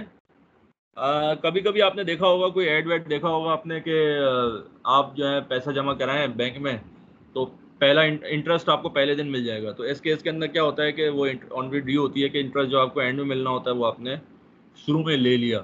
इसको कहते हैं एनविटी ड्यू ठीक है ना? इसकी ऑपरेशनली हम ये कर सकते हैं वन पीरियड कंपाउंड कर देंगे clear any question so far कोई सवाल? नो सर चलो तो ये आप देख लें इसको।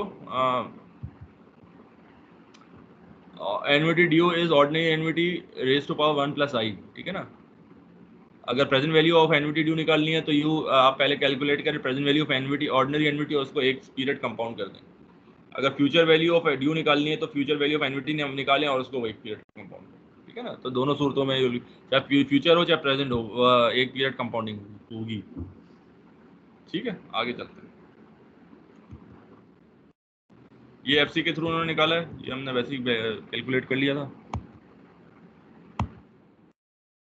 ये अनइवन कैश फ्लो है। तो ये भी हमने अभी कैलकुलेट किया है। इसको इंडिविजुअली इन्होंने ले गया हंड्रेड को जो है, एक पीरियड किया है थ्री हंड्रेड को दो पीरियड किया है, इसको थ्री पीरियड किया है, इसको फोर्थ पीरियड किया है। And then you calculate you can calculate present value ठीक है ना? तो ये भी डिस्कस कर लिया।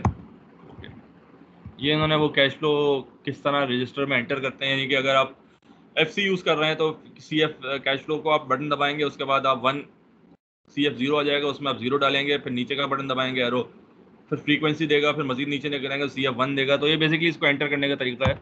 And this is how you can enter the cash flows and यानी कि अगर अनइवन कैश फ्लो है तो कैश फ्लो रजिस्टर कैलकुलेटर का कैश फ्लो रजिस्टर में इंडिविजुअली आपको कैश फ्लो डालने पड़ेंगे और उसके बाद आपको ये ऑपरेशन करना पड़ेगा, ठीक है ना?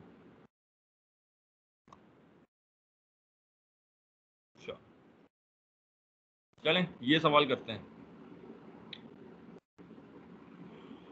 A 20 year old student wants to start saving for retirement सही है 20 साल की स्टूडेंट है। उसको जो है रिटायरमेंट का ख्याल आ गया है तो वो सेविंग करना चाहती है। तो she plans to save three dollars a day ठीक है ना, अपने पॉकेट मनी से तीन डॉलर निकाल रही है।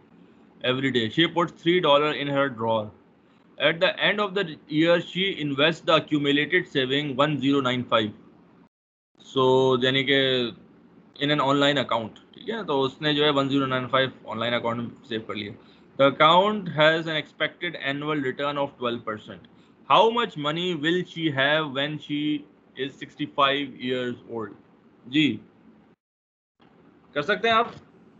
सर, ये सिर्फ़ एक साल की उस पे करना है। देखें पहले तो आप इसकी टाइमलाइन बनाए जब तक टाइमलाइन नहीं बनेगी आप कंफ्यूज हो जाएँगे। असल में इसमें कंपटीशन नहीं है इसके अंदर टाइमलाइन है। टाइमलाइन में टाइम ज़ीरो पे क्या होगा? टाइम ज़ीरो पे कुछ नहीं होगा ठीक है ना? ज़ीरो इसने जो है तीन तीन डॉलर डे सेव किया है उसने कहीं इन्वेस्ट नहीं किया। उसने अपने ड्रॉ में रख रहे हैं। एट द एंड उनके पास आ गया तो टाइम वन पे you have one zero nine five so the present value will be one zero nine five सही है? रेट आई क्या होगा? I will be twelve percent यानी पॉइंट वन टू ठीक है? तो अच्छा एन कितना होगा? 45 सर एन कितना होगा? हाँ? 45 45 फोर्टी फाइव सर वन होगा ना? एन कितना होगा। कितने साल के लिए? नहीं।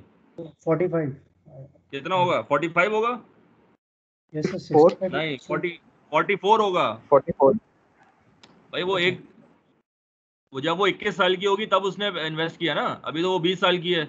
एक Okay. एक साल उसने अपने पास सेव किया तीन तीन डॉलर तो यानी एक साल बाद उसके पास आ गया वन ज़ीरो नाइन तो इक्कीस साल की थी तब उसने इन्वेस्टमेंट शुरू की। सिक्सटी फाइव पे वो तो that means forty four years हो जाएँगे। यही होगा। So let's 21 but if we add 21 तो 65 would be 45 21 65 अच्छा ठीक है। ओके तो 21 से 65 तक 45 होंगे ठीक है। सही है। 21 टू 65 45 ही होंगे। तो चलें ठीक है गुड तो 45 इयर्स ये हो जाएँगे आपके। N 12 is i present value जो है आपकी uh, नहीं एक मिनट। अच्छा सॉरी ये ये कर ये रहे हैं कि ये हर साल जो है ना तीन डॉलर सेव करती है और वो हर साल के एंड में वो जमा करा देती है।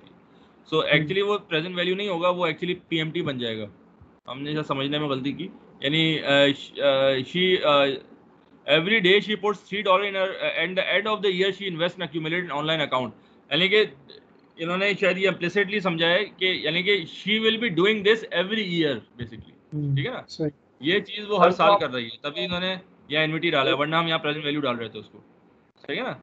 सो वो एवरी ईयर वो कर रही है तो जिसकी वजह से उसने ये कहा है कि हर साल के एंड पे शी विल बी गेटिंग 1095 तो दैट मीन्स कि 1095 is the cash flow stream जो कि 60 45 इयर्स तक उसको मिल वो इन्वेस्ट करती रहेगी तो what is the future value future value will be 1.487 million dollars ठीक है?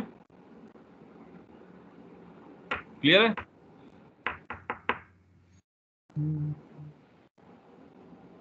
क्वेश्चंस कोई बात समझ में आई? जी। क्लियर है? हाँ? जी सर क्लियर है सर क्लियर गुड चल आगे चलते लेट्स मूव ऑन अगर वो 40 इयर्स के बाद स्टार्ट करेगी तो ये वैल्यू आ जाएगी तो यू कैन ट्वीक एनीथिंग तो आप एक, या आपको एक फन पता चल गया। आपको टाइमलाइन बनानी आ गई तो आप कुछ भी उसके अंदर कहीं से भी मालूम कर सकते हैं। तो how much the 40 years old deposit annually to catch up to 20 years old ये भी। बहरहाल, चलें।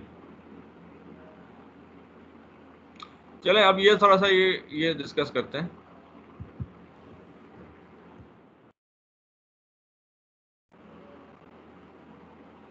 अब एक सवाल ये है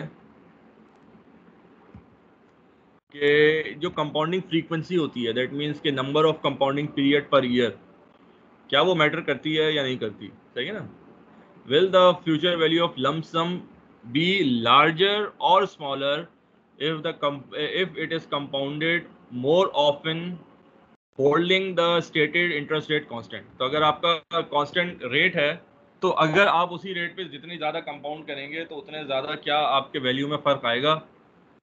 तो वो इन्होंने विजली बताया है। फॉर एग्जांपल अगर एनुअल कंपाउंडिंग होगी तो 100 को तीन पीरियड को कंपाउंड करेंगे। तो यू विल बी गेटिंग 133.1 ये हमने पहले भी निकल लिया सेमी एनुअल करने के लिए अब ये देखें एक चीज़ समझ लें दो चीज़ों में फ़र्क होगा। जब भी आपकी कंपाउंडिंग फ्रीक्वेंसी एनुअल से हटकेगी सेमी एनुअल या कुछ भी होगी सो so, आपका जो इंटरेस्ट रेट होगा आई होगा that will be divided by the compounding frequency और टाइम जो होगा that will be multiplied by the compounding frequency सही है? ये रूल याद रखें। कंपाउंडिंग फ्रीक्वेंसी क्या है? Number of compounding period per year ठीक है? अब अगर सेमी एनुअल कंपाउंडिंग है तो फ्रीक्वेंसी क्या होगी? कंपाउंडिंग फ्रीक्वेंसी कितनी होनी चाहिए? सर डबल हो जाएगी डबल हो जाएगी। टू होगी ना? यस. Two times. हाँ तो अगर टू होगी तो हम क्या करेंगे? आई को डिवाइड बाय टू कर देंगे और एन को मल्टीप्लाई बाय टू कर देंगे। तो आई को डिवाइड बाय टू किया तो ये हो गया पॉइंट फाइव परसेंट रहेगी यानी पॉइंट ज़ीरो फाइव और एन को मल्टीप्लाई बाय टू किया तो ये सिक्स बन गया। देन नाउ दो जो आंसर आया one thirty four point one zero आया। तो हल्का सा फ़र्क है। वन पॉइंट समथिंग का फ़र्क आ गया। और इसकी वजह क्या है कि बिकॉज़ जो आपने ज़्यादा कंपाउंडिंग किया तो आपका कंपाउंड इंटरेस्ट ज़्यादा हो गया as proportion as compare to above ठीक है? पहले आपको कंपाउंड इंटरेस्ट था 3.1 अब आपका compound interest almost for four something हो गया है, ठीक है ना? क्लियर है यहाँ तक तो कंपाउंडिंग फ्रीक्वेंसी जो है, वो मैटर करती है, ठीक है? आगे चलते हैं।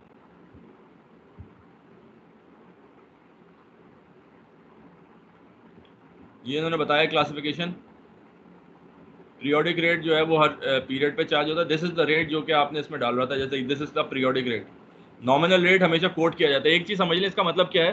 इसका मतलब ये है कि कन्वेंशन है कि इंटरेस्ट रेट हमेशा एनुअल फॉर्म में कोट किया जाएगा। अगर मैं ये कहूँ कि एट परसेंट या टेन परसेंट रेट है कंपाउंडेड क्वार्टरली इसका मतलब ये है कि जो पीरियोडिक रेट होगा वो क्या होना चाहिए? Ten percent compounded quarterly ten divide by four ठीक है? तो पीरियोडिक रेट होगा, लेकिन एक्सप्रेस जो किया है वो टेन परसेंट पे किया है तो नॉमिनल रेट टेन परसेंट ही होगा। यानी quoted rate nominal rate is annual rate and it is ignores the compounding effect ठीक है? तो ये कन्वेंशन है कि हम जब भी हम कोट करते हैं, वो एनुअल फॉर्म में ही कोट करते हैं। जैसे अगर हम कहें कि टेन परसेंट कंपाउंडेड डेली तो इसका मतलब ये नहीं है कि आपको हर दिन के एंड में टेन परसेंट की कंपाउंडिंग हो रही है। उसको divide by three sixty five करेंगे तो जो रेट आएगा, वो that will be the compounding clear है? एनी क्वेश्चन गुड अच्छा मैं चले आपसे एक सवाल करता हूँ।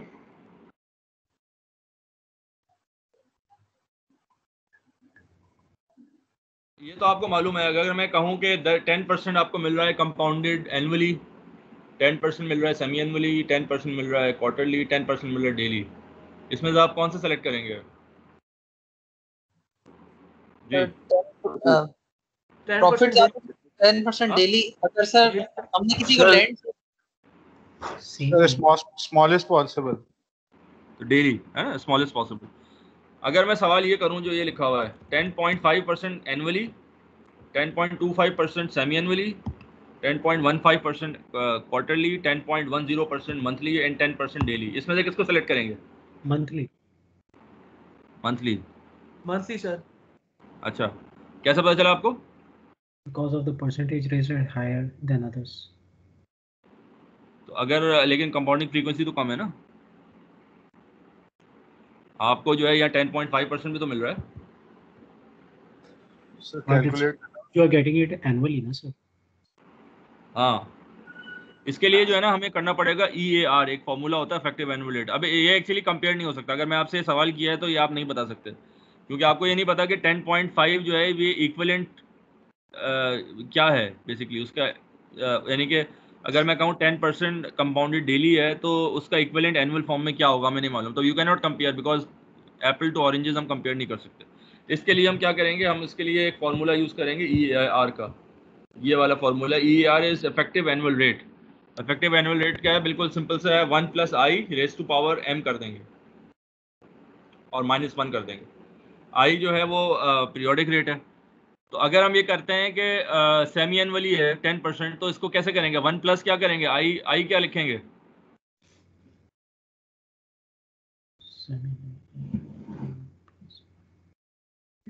जी। सर सेवन परसेंट एनुअली का? टेन परसेंट अगर सेमी एनुअली है तो यहाँ पे आई क्या आएगा यहाँ पे? फाइव सर फाइव आएगा यानी कि हमने क्या किया? टेन डिवाइड बाई टू कर दिया। आई yes. को डिवाइड कर दिया एम से। ठीक है ना? हो. हाँ ठीक है। तो पॉइंट तो फाइव हो जाएगा और माइनस वन कर दिया। हम्म, ठीक है? और रेस टू पावर एम है तो बेसिकली यहाँ पे हमने जो टू यानी कि उसको रेस टू पावर टू कर दिया। तो. दैट विल बी तो ये जो आंसर आएगा वो आएगा जो है टेन पॉइंट फाइव वन आएगा ना? ठीक है? ओके यही आ रहा है ना? अब 10.51 का मतलब क्या? ये मैंने सारे ईयर निकाले हैं। 10.51 का मतलब ये है कि अगर आपने 10.5 परसेंट मिल रहा है आपको एनुअली ठीक है ना? और यानी कि अगर आप 10.25 परसेंट सेमी एनुअली लें या 10.51 परसेंट एनुअली लें तो you will get the same amount you will be you will became indifferent whether to invest at 10.51 percent annually or to invest at at 10.25 percent semi annually ये बात समझ में आ गई? इसको कहते हैं ईयर तो नाउ इसी तरह से अगर आप क्वार्टरली का निकालेंगे तो क्या करेंगे? 10.15 जो है यानी point one zero one five divided by कितना करेंगे divide four sir four four four ठीक है ना? और वो एम को फोर कर देंगे तो वहाँ पे जब आप उसको कंपाउंड यानी उसको रेस टू पावर फोर कर देंगे तो वो जो आंसर आएगा वो आएगा 10.54 इसी तरह मंथली का आंसर आएगा 10.58 डेली को अगर करेंगे तो क्या करेंगे? I divide by ten percent point one divide by कितने से करेंगे? थ्री सिक्सटी फाइव 365 ठीक है ना? और n जो है वो भी 365 होगा। yes. तो उसका जो आंसर आएगा वो आएगा 10.51 तो अगर हम अब नाउ यू कैन कंपेयर अब इसमें से जो है आप यू कैन कंपेयर तो अगर आप ये कंपेयर करें तो आपका 10.58 यानी मंथली जो है 10.10 परसेंट कंपाउंडेड मंथली इन सब में से सबसे ज़्यादा रिटर्न आपको देगा as compare to others clear है? यस सर तो इस इस तरह से you can compare different different instruments ठीक है?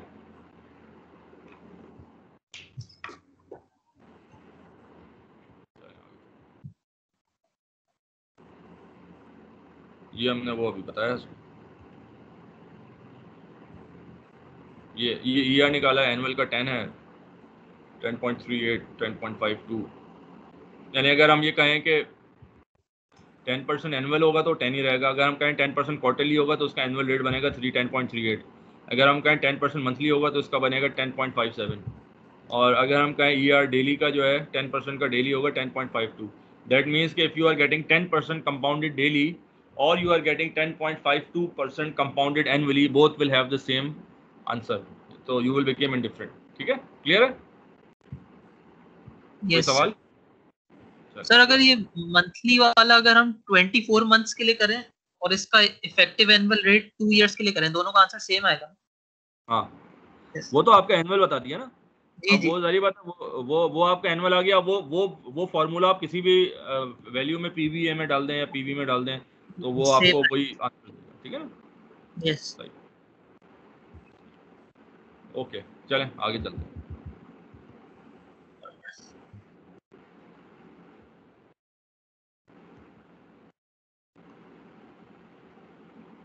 अब ये जैसे इन्होंने किया है कि 10 percent compounded semi annually and quarterly तो पहले तो डिवाइड बाय एम और इनटू एम तरीका ये होता है कि जब भी मैंने आपको बताया, जैसे आई को नंबर ऑफ़ कंपाउंडिंग पीरियड से करेंगे तो i will divide by m और एन जो है, यानी कि नंबर ऑफ़ पीरियड्स को करेंगे that will multiply by m तो अगर सेमी एनुअली है तो 10 डिवाइड बाय टू होगा और यहाँ मल्टीप्लाई बाय टू हो जाएगा। सो विल बी गेटिंग जो है one point one thirty four ठीक है ना? अगर क्वार्टरली है तो टेन डिवाइड बाई फोर हो जाएगा और यहाँ मल्टीप्लाई बाय फोर हो जाएगा तो ये ट्वेल्व बन जाएगा और ये one point zero two five बन जाएगा तो will be getting one thirty four point four nine clear है? यहाँ तक समझ में आई बात? Any question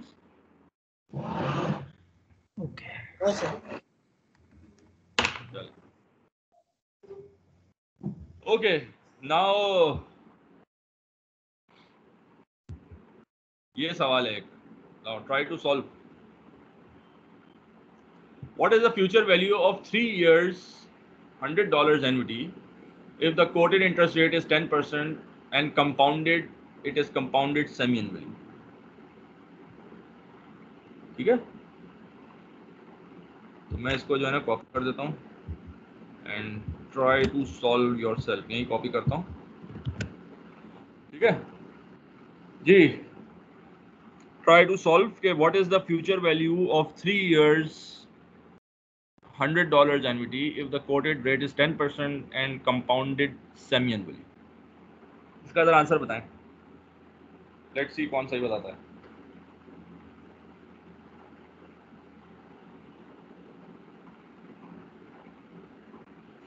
ji please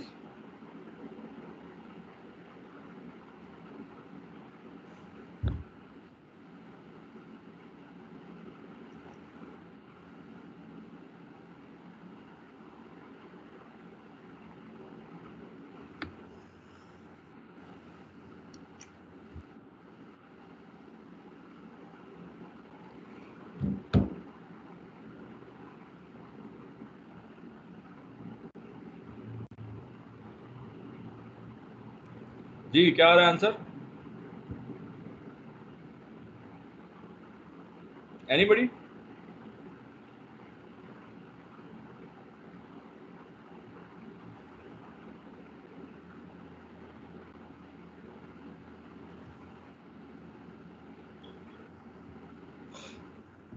calculate किया आपने? जी हमाद। अच्छा चल दो मिनट दो मिनट ओके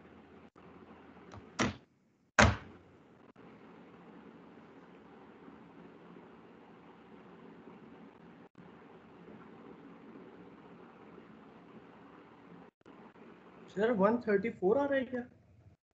134 चलें लेट्स सी आपने क्या किया? सर, एनवीडी कितनी है? पीएमटी कितना रखा आपने हाँ? पॉइंट ज़ीरो फाइव की power six into hundred sir yes अच्छा एन क्या रखा आपने? Six And six six i क्या रखा? 0.1 डिवाइड बाय 2 ज़ीरो पॉइंट यानी टेन फाइव परसेंट हो गया ना? Yes sir zero zero point zero five हाँ ज़ीरो पॉइंट ज़ीरो फाइव चले मैं उसको परसेंटेज में लिख रहा हूँ। यानी कि ज़ीरो पॉइंट ज़ीरो फाइव ठीक है? और? अच्छा। अच्छा इस, इसके अंदर जो है ना, एक कैच है। अगर आप ये करेंगे ना तो वो ये कहेगा कि what is the future value of three years hundred annuity तो दैट मीन्स अगर हमने ये फार्मूला पी बी ए के अंदर, इसमें एफ़ वी निकाला है आपने। अगर एफवीए के अंदर ये फार्मूला डालेंगे तो वो ये अज्यूम करेगा कि you will be getting hundred dollars for six every six months for three years यही अज्यूम करेगा ना? हम्म। अ, यानी एन आपने सिक्स रखा है दैट मीन्स आपको छः दफ़ा सौ रुपये मिले हैं तीन साल के दौरान। क्या आपको छः दफ़ा सौ रुपये मिले? नो सर तो फिर ये फार्मूला गलत हो गया फिर। सर हम लोग को या तो उसको कंपाउंड खुद से करना पड़ेगा उस हंड्रेड डॉलर जो कर रहे हैं। यस गुड आगे लेकर जाना होगा future value every year every year ये ये असल में एनविटी का सवाल नहीं है ये। ये एनविटी। से हल नहीं होगा। अब आप ब्रेक साल हाँ अब आप इसको इस तरह देखें। You will be getting hundred dollar at time three यानी तीन साल तक मिलेंगे। तो टाइम वन पे मिला टू पे मिला और थ्री पे मिला। लेकिन योर कम ये हंड्रेड डॉलर जो कंपाउंड हो रहा है वो सेमी एनविली हो रहे हैं।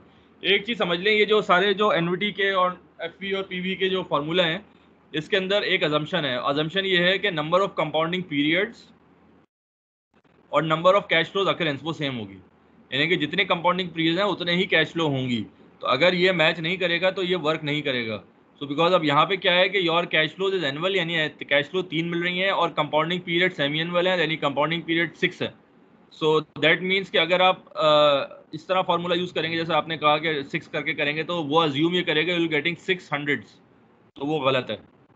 और अगर आप जो है उसके अंदर एन थ्री रखेंगे तो वो अज्यूम करेगा there is three compounding period वो भी गलत है। सो uh, so, इस ये फार्मूला जो है यू विल बी ये आपको मैनुअली करना पड़ेगा। और मैनुअली कैसे करेंगे? मैनुअली ये करेंगे कि हंड्रेड को टू पीरियड पर कंपाउंड डिस्काउंट करें या कंपाउंड यानी अगर आप आगे ले जा रहे हैं तो इसको कितने पीरियड के लिए कंपाउंड करना होगा? जी।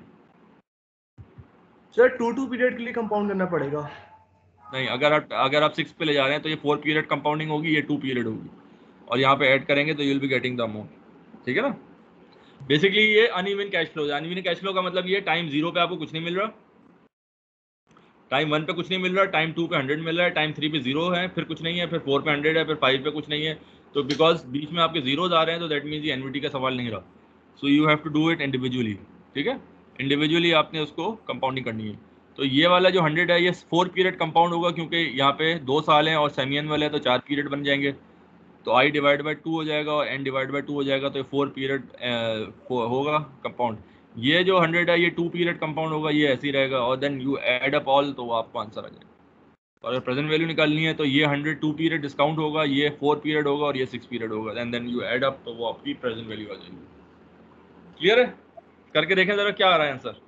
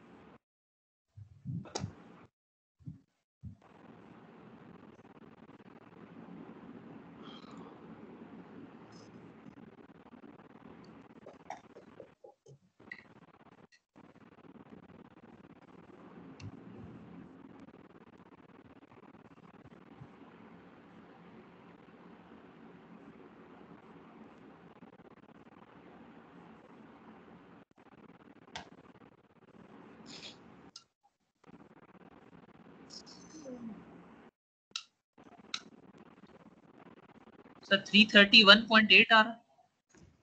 है 331.8 let's see. 331.8 ये आपने सही निकाला। यानी आपने इसको फोर पीरियड कंपाउंड कर दिया तो 121 हो गया। और Yes. इसको वन पीरियड दिया। ठीक है ना? इसका एक और तरीका भी है। कोई और तरीके से भी कर सकते हैं? एनवीटी के थ्रू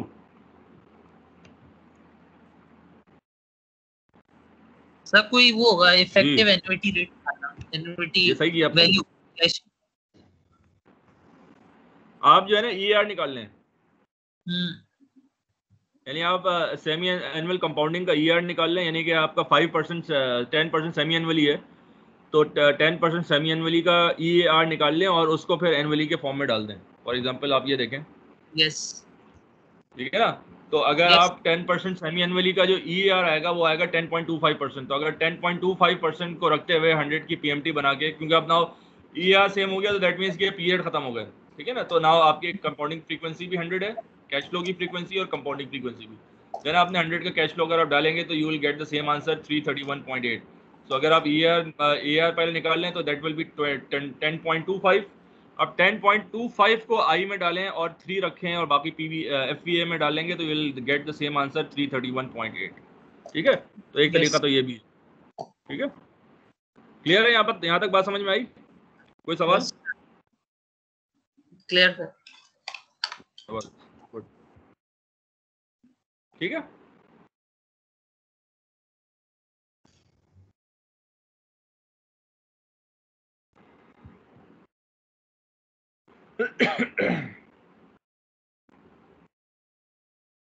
इसी तरह ये इसका हमने वो किया है डिस्काउंट किया है, इसकी प्रेजेंट वैल्यू निकाली है। उसी सवाल की। यहाँ तक कोई सवाल है? बिकॉज़ हम आपका टॉपिक नया टॉपिक आ रहा है। So if you have any question so far कोई पूछना है, कोई सवाल, कोई समझ में नहीं आया please so will be amortization हम स्टार्ट करेंगे। चलो गुड so, amortization. ये लास्ट मेरा ख्याल टॉपिक है, इसका शायद अमोटाइजेशन जो है, वो क्या होता है? एमोटाइजेशन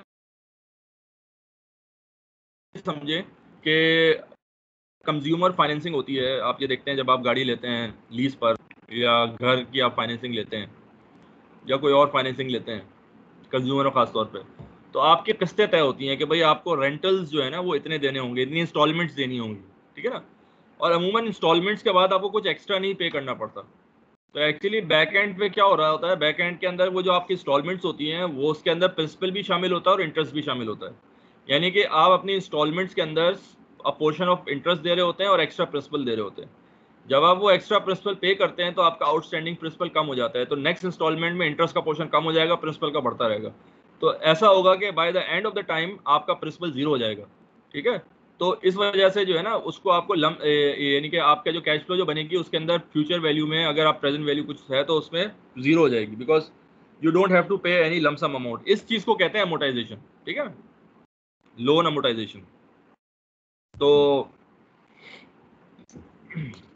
और अमूमन ये कंज्यूमर फाइनेंसिंग के होता है। अगर आपको ये चीज़ समझ में आ जाए तो यू कैन बैक ट्रैक यानी कि आप रिवर्स इंजीनियरिंग कर सकते हैं। कि अगर आप गाड़ी लेने गए और आपने उसकी किस्तें मालूम की तो अगर उसने तीस हज़ार की किस्त या साठ हज़ार की किस्त बता रहा है आपको तो आप बैक ट्रैक करके देख सकते हैं कि बैंक मुझ मुझसे कितना इंटरेस्ट चार्ज कर रहा है और आ, किस तरह से कर रहा है ना। So this is how how it work तो वो अब हम डिस्कस कर लेते हैं ठीक है ना। तो क्वेश्चन क्या है? Construct an amortization schedule of hundred dollar ten percent annual loan with three equal payments आपने जो है सौ डॉलर हंड्रेड डॉलर यानी थाउज़ेंड डॉलर जो है आपने लोन लिया है। यानी आपने कोई गाड़ी खरीद ली है थाउज़ेंड डॉलर्स की। नाउ अब आपको किस्तें बतानी है कि भाई मैं कितने पेमेंट करूँ, जबकि मेरा रेट टेन परसेंट है। ठीक है ना? तो पहले तो आपको निकालना है कि what is the present value sorry अच्छा इसको कैसे करेंगे? अगर आप आ, इसकी टाइमलाइन में टाइमलाइन कैसे बनाएँगे? चलें। टाइमलाइन बनाए पहले। ठीक है ना? देखते हैं बनी हुई है टाइमलाइन नहीं बनी नहीं बनी। टाइमलाइन में आप क्या करेंगे?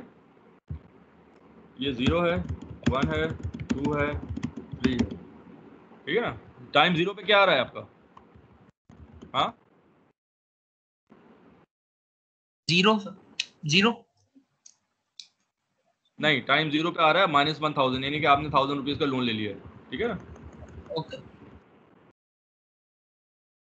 अच्छा टाइम वन पे आपको क्या दे क्या मिलेगा?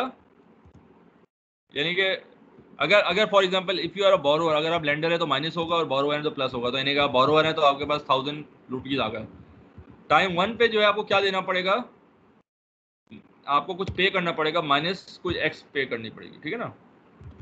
तो टाइम टू पे क्या करना होगा? वो कोई भी आपको एक अमाउंट पे करनी पड़ेगी। और टाइम थ्री पे क्या करना होगा? वो भी आपने कोई एक अमाउंट पे करनी पड़ेगी। एक्स अमाउंट पे करनी पड़ेगी आपको, ठीक है ना? अच्छा अगर आपसे कहा जाए कि what would be this X amount ठीक है ना? तो कैसे कैलकुलेट करेंगे? हम ये कहेंगे कि ये जो एक्स है ना, अगर हम टाइम वन की एक्स को टाइम टू की एक्स को टाइम थ्री की एक्स को टाइम ज़ीरो पे ले जाएँ so the value of that combined value should be 1000 so value of all the future expected uh, x जो है that will be equal to 1000 इसी वजह से वो indifferent हो जाएगा। ठीक है? सर इसमें ये होगा कि थाउज़ेंड इज़ इक्वल टू इसमें फिर आगे टाइम वन के वन पे करेंगे thousand divide by one point one की power one plus thousand divide by one point one की पावर टू नहीं नहीं नहीं नहीं नहीं नहीं नहीं इसका सिंपल सी तरीका आप पीवीए के फॉर्मूले में डालते हैं इसको।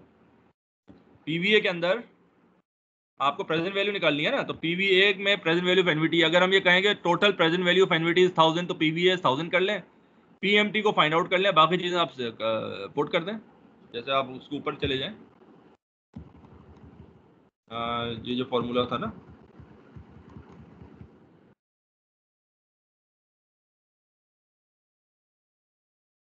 तो जैसे ये पीवीए का फॉर्मूला है, ठीक है ना?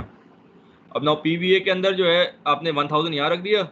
पीएमटी आपने फाइंड आउट करनी है, क्योंकि वो एक्स है, वो कौन, कितनी पीएमटी है, जिसकी प्रेजेंट वैल्यू पीवीए के बराबर हो जाए तो PMT is X and then I आपको मालूम है टेन परसेंट है एन आपको मालूम है थ्री ईयर्स है देन यू कैन सॉल्व इस पूरे को सॉल्व कर लें, और इसको इसके, इससे डिवाइड कर लेंगे गेट द पीएमटी क्लियर बात समझ में आई?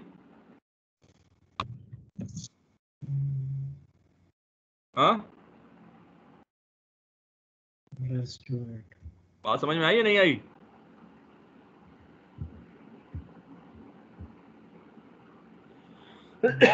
जी।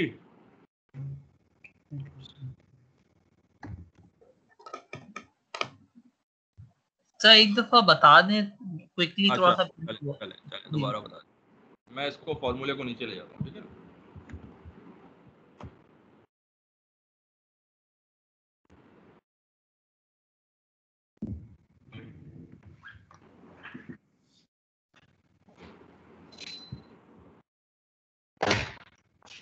ये एक फॉर्मूला है पीएमटी का, ठीक है ना?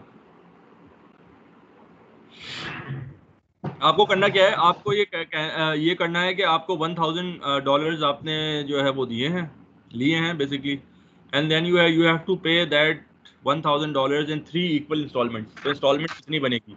तो पहले आपने टाइम लाइन में डाला टाइम लाइन में वन थाउज़ेंड आपको मिल गए. उसके बाद आपने कहा कि टाइम वन पे हम एक एक्स इंस्टॉलमेंट देंगे टाइम टू पे एक्स इंस्टॉलमेंट लेंगे टाइम थ्री पे भी एक्स देंगे. और हम ये कह रहे हैं कि बिकॉज़ ये 1000 इक्वल है तो हम ये कह रहे हैं कि एक्स की इंस्टॉलमेंट्स अगर सबको टाइम ज़ीरो पे डिस्काउंट करेंगे तो the present value of all the x यानी यानी पीवीए यानी present value of this stream of cash flow will be equal to 1000 ठीक है? अब now you can have this formula आपको मालूम है पीवीए का फार्मूला ये है तो आपने पीवीए क्योंकि आपको मालूम है यहाँ पे 1000 पुट कर दिया। X निकालने के लिए आपने पीएमटी में जो है x कर दिया एंड बाकी चीज़ आपको मालूम है सॉल्व फॉर दिस तो फिर आपको ये मालूम x क्या है बेसिकली क्लियर है? ओके यस सर ओके कितना आ जाए? X कितना आ रहा है? तो ये कैलकुलेट कर लेते हैं। हाँ, करें कैलकुलेट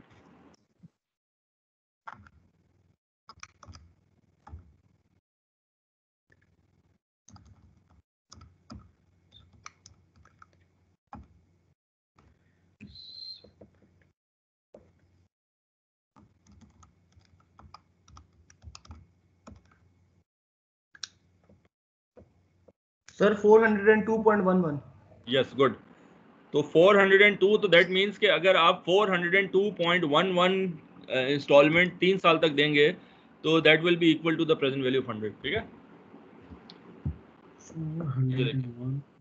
इन्होंने भी किया इन्होंने जो है ना इन्होंने इंस्टॉलमेंट इस तरह निकाल लिए हैं एफसी के थ्रू तो यू विल गेट 402.11 अब क्या करना है? अब आपका शेड्यूल बनाना है ठीक है ना?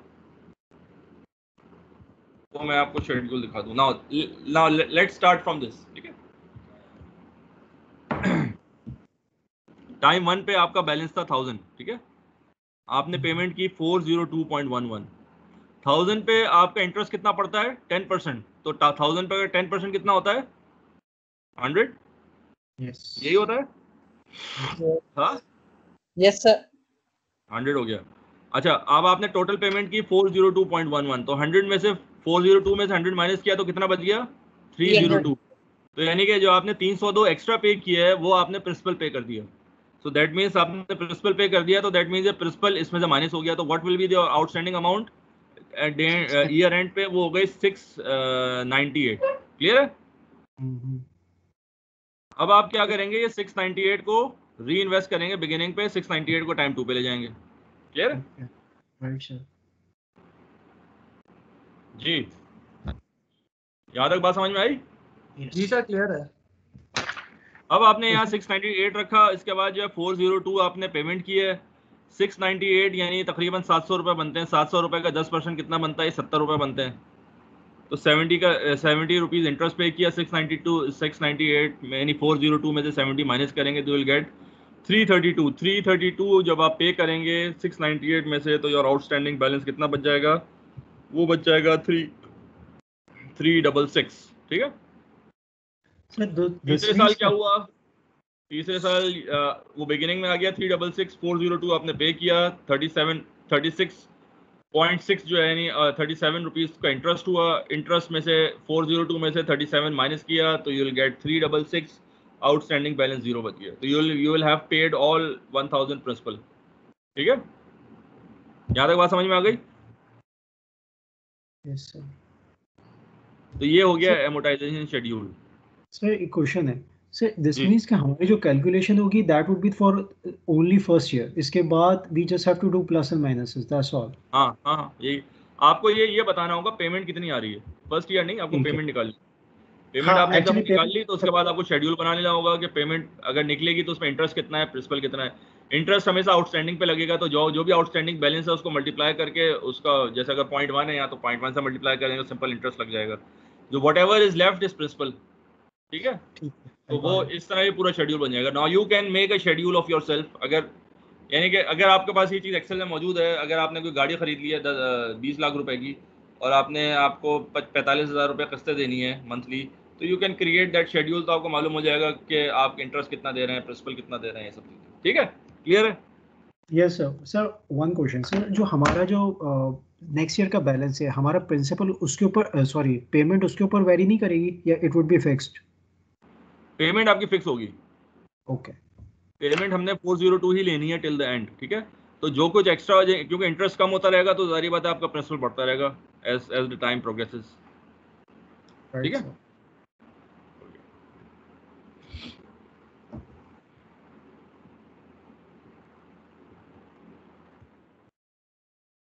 ये आप याद रखें जैसे एज द टाइम प्रोग्रेसेस आपका जो पोर्शन है प्रिंसिपल का वो कम हो रहा होगा। इंटरेस्ट बढ़ इंटरेस्ट पहले ज़्यादा था फिर कम होता रहेगा और जो प्रोपोर्शन ऑफ़ प्रिंसिपल वो बढ़ता रहेगा। ठीक है ना? अब इसी की एप्लीकेशन ये पार्शियल एमोटाइजेशन कर सकते हैं कि आपने कुछ फिक्स कर दिया। जो फिक्स कर दिया वो आपने डाउन पेमेंट कर दी बाकी आपने जो है एंड में दे दी। सो so, आप उसको ब्रेकआउट कर सकते हैं। जैसे इसमें था bank agrees to lend a home buyer two twenty thousand to buy a two fifty thousand home यानी कि दो दो लाख पचास हज़ार का घर था और दो लाख बीस हज़ार बैंक से ले लिए बाकी अपने पास से डाउन पेमेंट कर दी। सो आप दो लाख बीस हज़ार रुपये की अमोटाइजेशन बना लेंगे। ठीक है ना? तो home owner only have seven thousand five hundred in cash so the seller agree take note of the following terms twenty years का शेड्यूल बना लेंगे loan matures at the end of the third year तो जो है you can say ये आप इस तरह से का ट्वेंटी ईयर्स के शेड्यूल बना लिया तो you will get the payment यानी बाईस सौ दस बाईस सौ सात रुपये की पेमेंट होगी।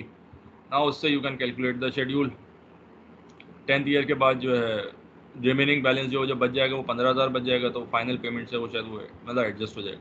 सो so, ये, ये कहने का मकसद ये you can make the schedule yourself concept यही है कि first of all you have to calculate the payment and then उसका इंटरेस्ट कितना है प्रिंसिपल कितना है ये खुद आप बना सकते any question so far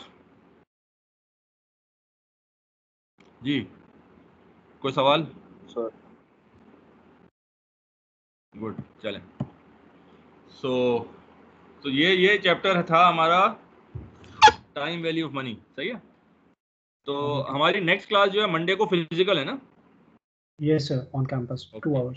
Yes sir two hours on campus class होगी मंडे को।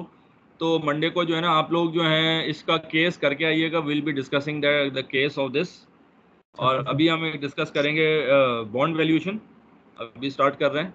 सो so, वो हम बेसिक डिस्कस कर लेंगे और uh, इसका केस आप जो है वो मंडे को करके आएँगे। ठीक है ना? मे भी हम हो सकता है बॉन्ड वैल्यूएशन का केस में थोड़ा पॉइंट पार्ट सॉल्व भी कर लें।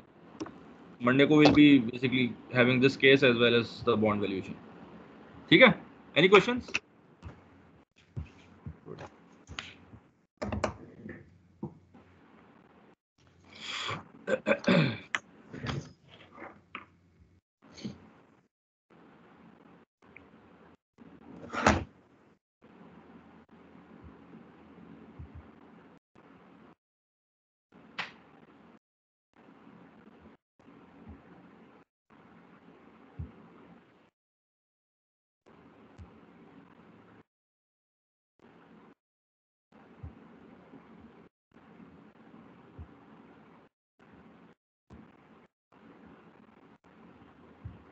चलें। So bond valuation bonds and their valuation ठीक है? So very closely related topic क्योंकि वैल्यूएशन के अंदर जो यूज़ टूल यूज़ करेंगे वो टाइम वैल्यू ऑफ़ मनी का ही है। सो so, अब बेसिकली वो हमने कॉन्सेप्ट डिस्कस किया था अब उसकी एक एप्लीकेशन है बॉन्ड के अंदर ठीक है ना? तो बॉन्ड क्या होते हैं? थोड़ा बॉन्ड के बारे में डिस्कस कर लेते हैं देन उसकी वैल्यूएशन के पॉइंट ऑफ़ आ जाएँगे। लोन और लोन और बॉन्ड में क्या फ़र्क है? जी। What is the difference between loan and bond?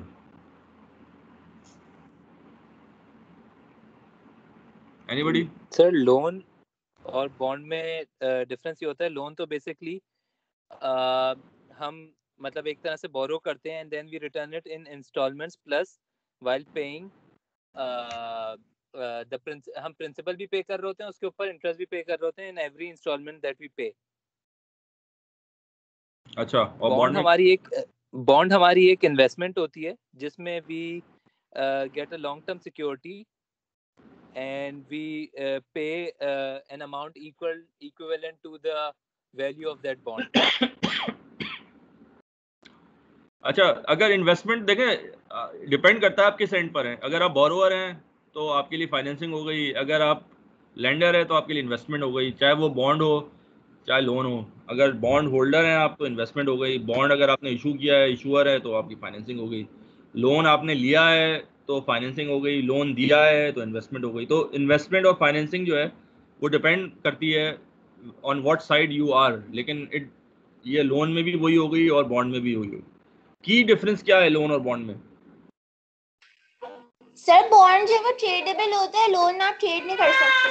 Good very ज़बरदस्त ज़बरदस्त। यही यही फ़र्क है। बॉन्ड और लोन का जो की डिफरेंस है, वो ट्रेडेबिलिटी का है। Bond is tradable and loan is not tradable ठीक है? लोन जो है वो तो हम जो है बात करते हैं बॉन्ड अगर आपके पास मौजूद है, कोई बॉन्ड होल्डर है तो आपको अगर पैसे, यानी अगर आपको रीपे करना है, यानी इसको वापस करना है तो आप मार्केट में उसको सेल कर देंगे। लोन वापस करने के लिए आपको उसी से बात करनी पड़ेगी, जिस जिस, जिसने, यानी जिसको आपने लोन दिया है कि भाई मुझे पैसे जल्दी वापस कर दो। तो इट्स नॉट ट्रेडेबल तो बॉन्ड ट्रेडेबल होता है आपकी इसकी मार्केट होती है, उसकी डिमांड सप्लाई होती है एंड देन उसकी एक प्राइस होती है। ठीक है? तो bond as a secondary market और वो ट्रेडेबल होता है। ये ये फ़र्क है बेसिक फ़र्क है बॉन्ड और लोन में। ठीक है? Now let's look at definition ये आपको विजिबल है ना ये स्क्रीन तो bond is a long term debt instrument in which borrower agrees to pay agrees to make payment of principal and interest on specific date to the holder of the bond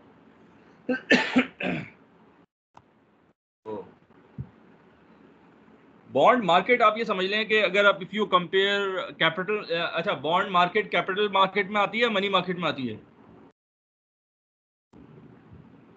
जी। कौन सी market है ये?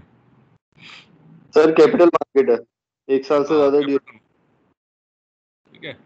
Capital market है। Why why it's capital market क्योंकि bond जो है वो long term होते हैं वन ईयर से ज़्यादा होते हैं तो उसको कैपिटल मार्केट कहते हैं। तो कैपिटल मार्केट के अंदर दो मेजर कंपोनेंट्स हैं ऑफ़ कैपिटल मार्केट एक होता है शेयर्स इक्विटी जिसको हम कहते हैं और एक होता है बॉन्ड्स और या डेट तो आप ये समझें कि अगर कैपिटल मार्केट का हुजूम जो है टोटल हुजूम इज़ हंड्रेड तो उसमें से 95 बॉन्ड्स होंगे और फाइव जो है वो शेयर्स होंगे।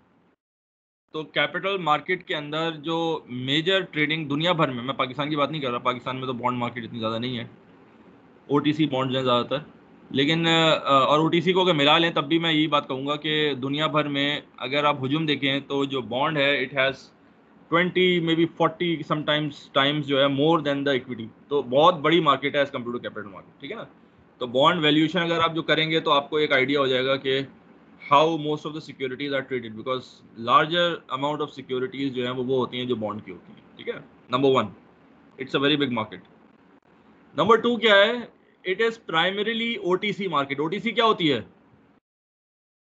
Over the counter market sir over the counter over the counter का मतलब क्या होता है? ये पब्लिक मार्केट नहीं है प्राइवेट मार्केट है।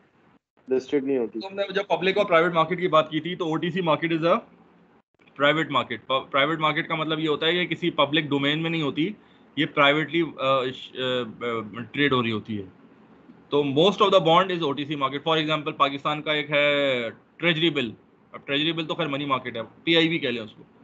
पाकिस्तान इन्वेस्टमेंट बॉन्ड ना पी जो है वो आ, किसी जगह ट्रेड नहीं हो रहा स्टॉक एक्सचेंज के अंदर। अमूमन अभी तो कहते हैं कि हमने वो शुरू कर दी ट्रेडिंग लेकिन वैसे अमूमन जो नॉर्मली वो जो है ऑक्शन होता है बैंक्स खरीदते हैं और even as a investment companies भी खरीद रही होती हैं। सो so, उसकी ऑप्शन होती है और वो लेकिन वो कहलाएगी O T market because there is no formal trading going on इसकी जो ट्रेडिंग होती है वो आपस में राउटर्स राइटर्स के थ्रू भी हो सकती है या आपस में डीलिंग के थ्रू हो सकती है थ्रू ब्रोकर आपस में। लेकिन there is no central place जहाँ पे ये ट्रेडिंग होती है। तो बेसिकली दूसरा इसके अंदर ये होता है एक तो बॉन्ड की हुजूम जो होता है that is way larger than the equity number one और नंबर टू ये होता है कि most of the bonds 99 percent bond मैं ये कह रहा हूँ that are traded in OTC market ठीक है ना?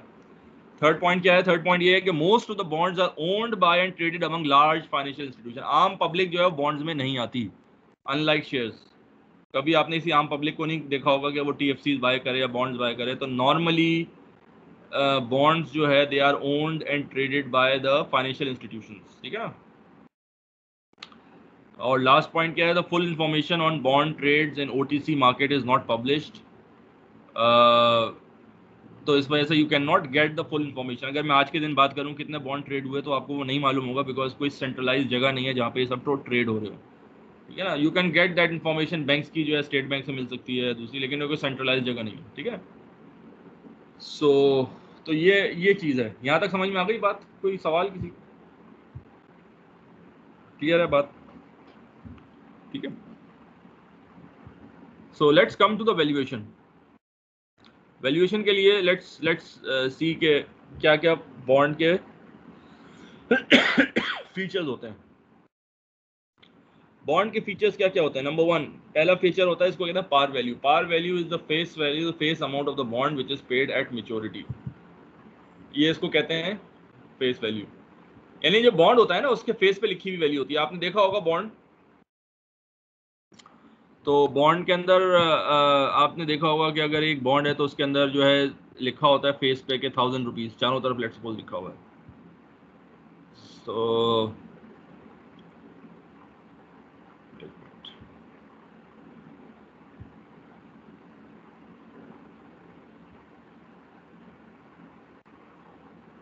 तो अगर बॉन्ड बॉन्ड है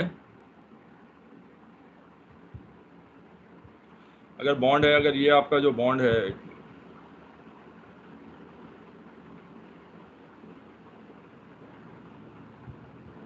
अगर लेट सपोज़ एक बॉन्ड ड्रॉ करता हूँ ठीक है ना? ये ये आपका बॉन्ड है ठीक है ना? ये आपको क्लियर नज़र आ रहा है ना? स्क्रीन नहीं सर स्क्रीन नज़र आ रही है आपको? नहीं? Sir no sir in progress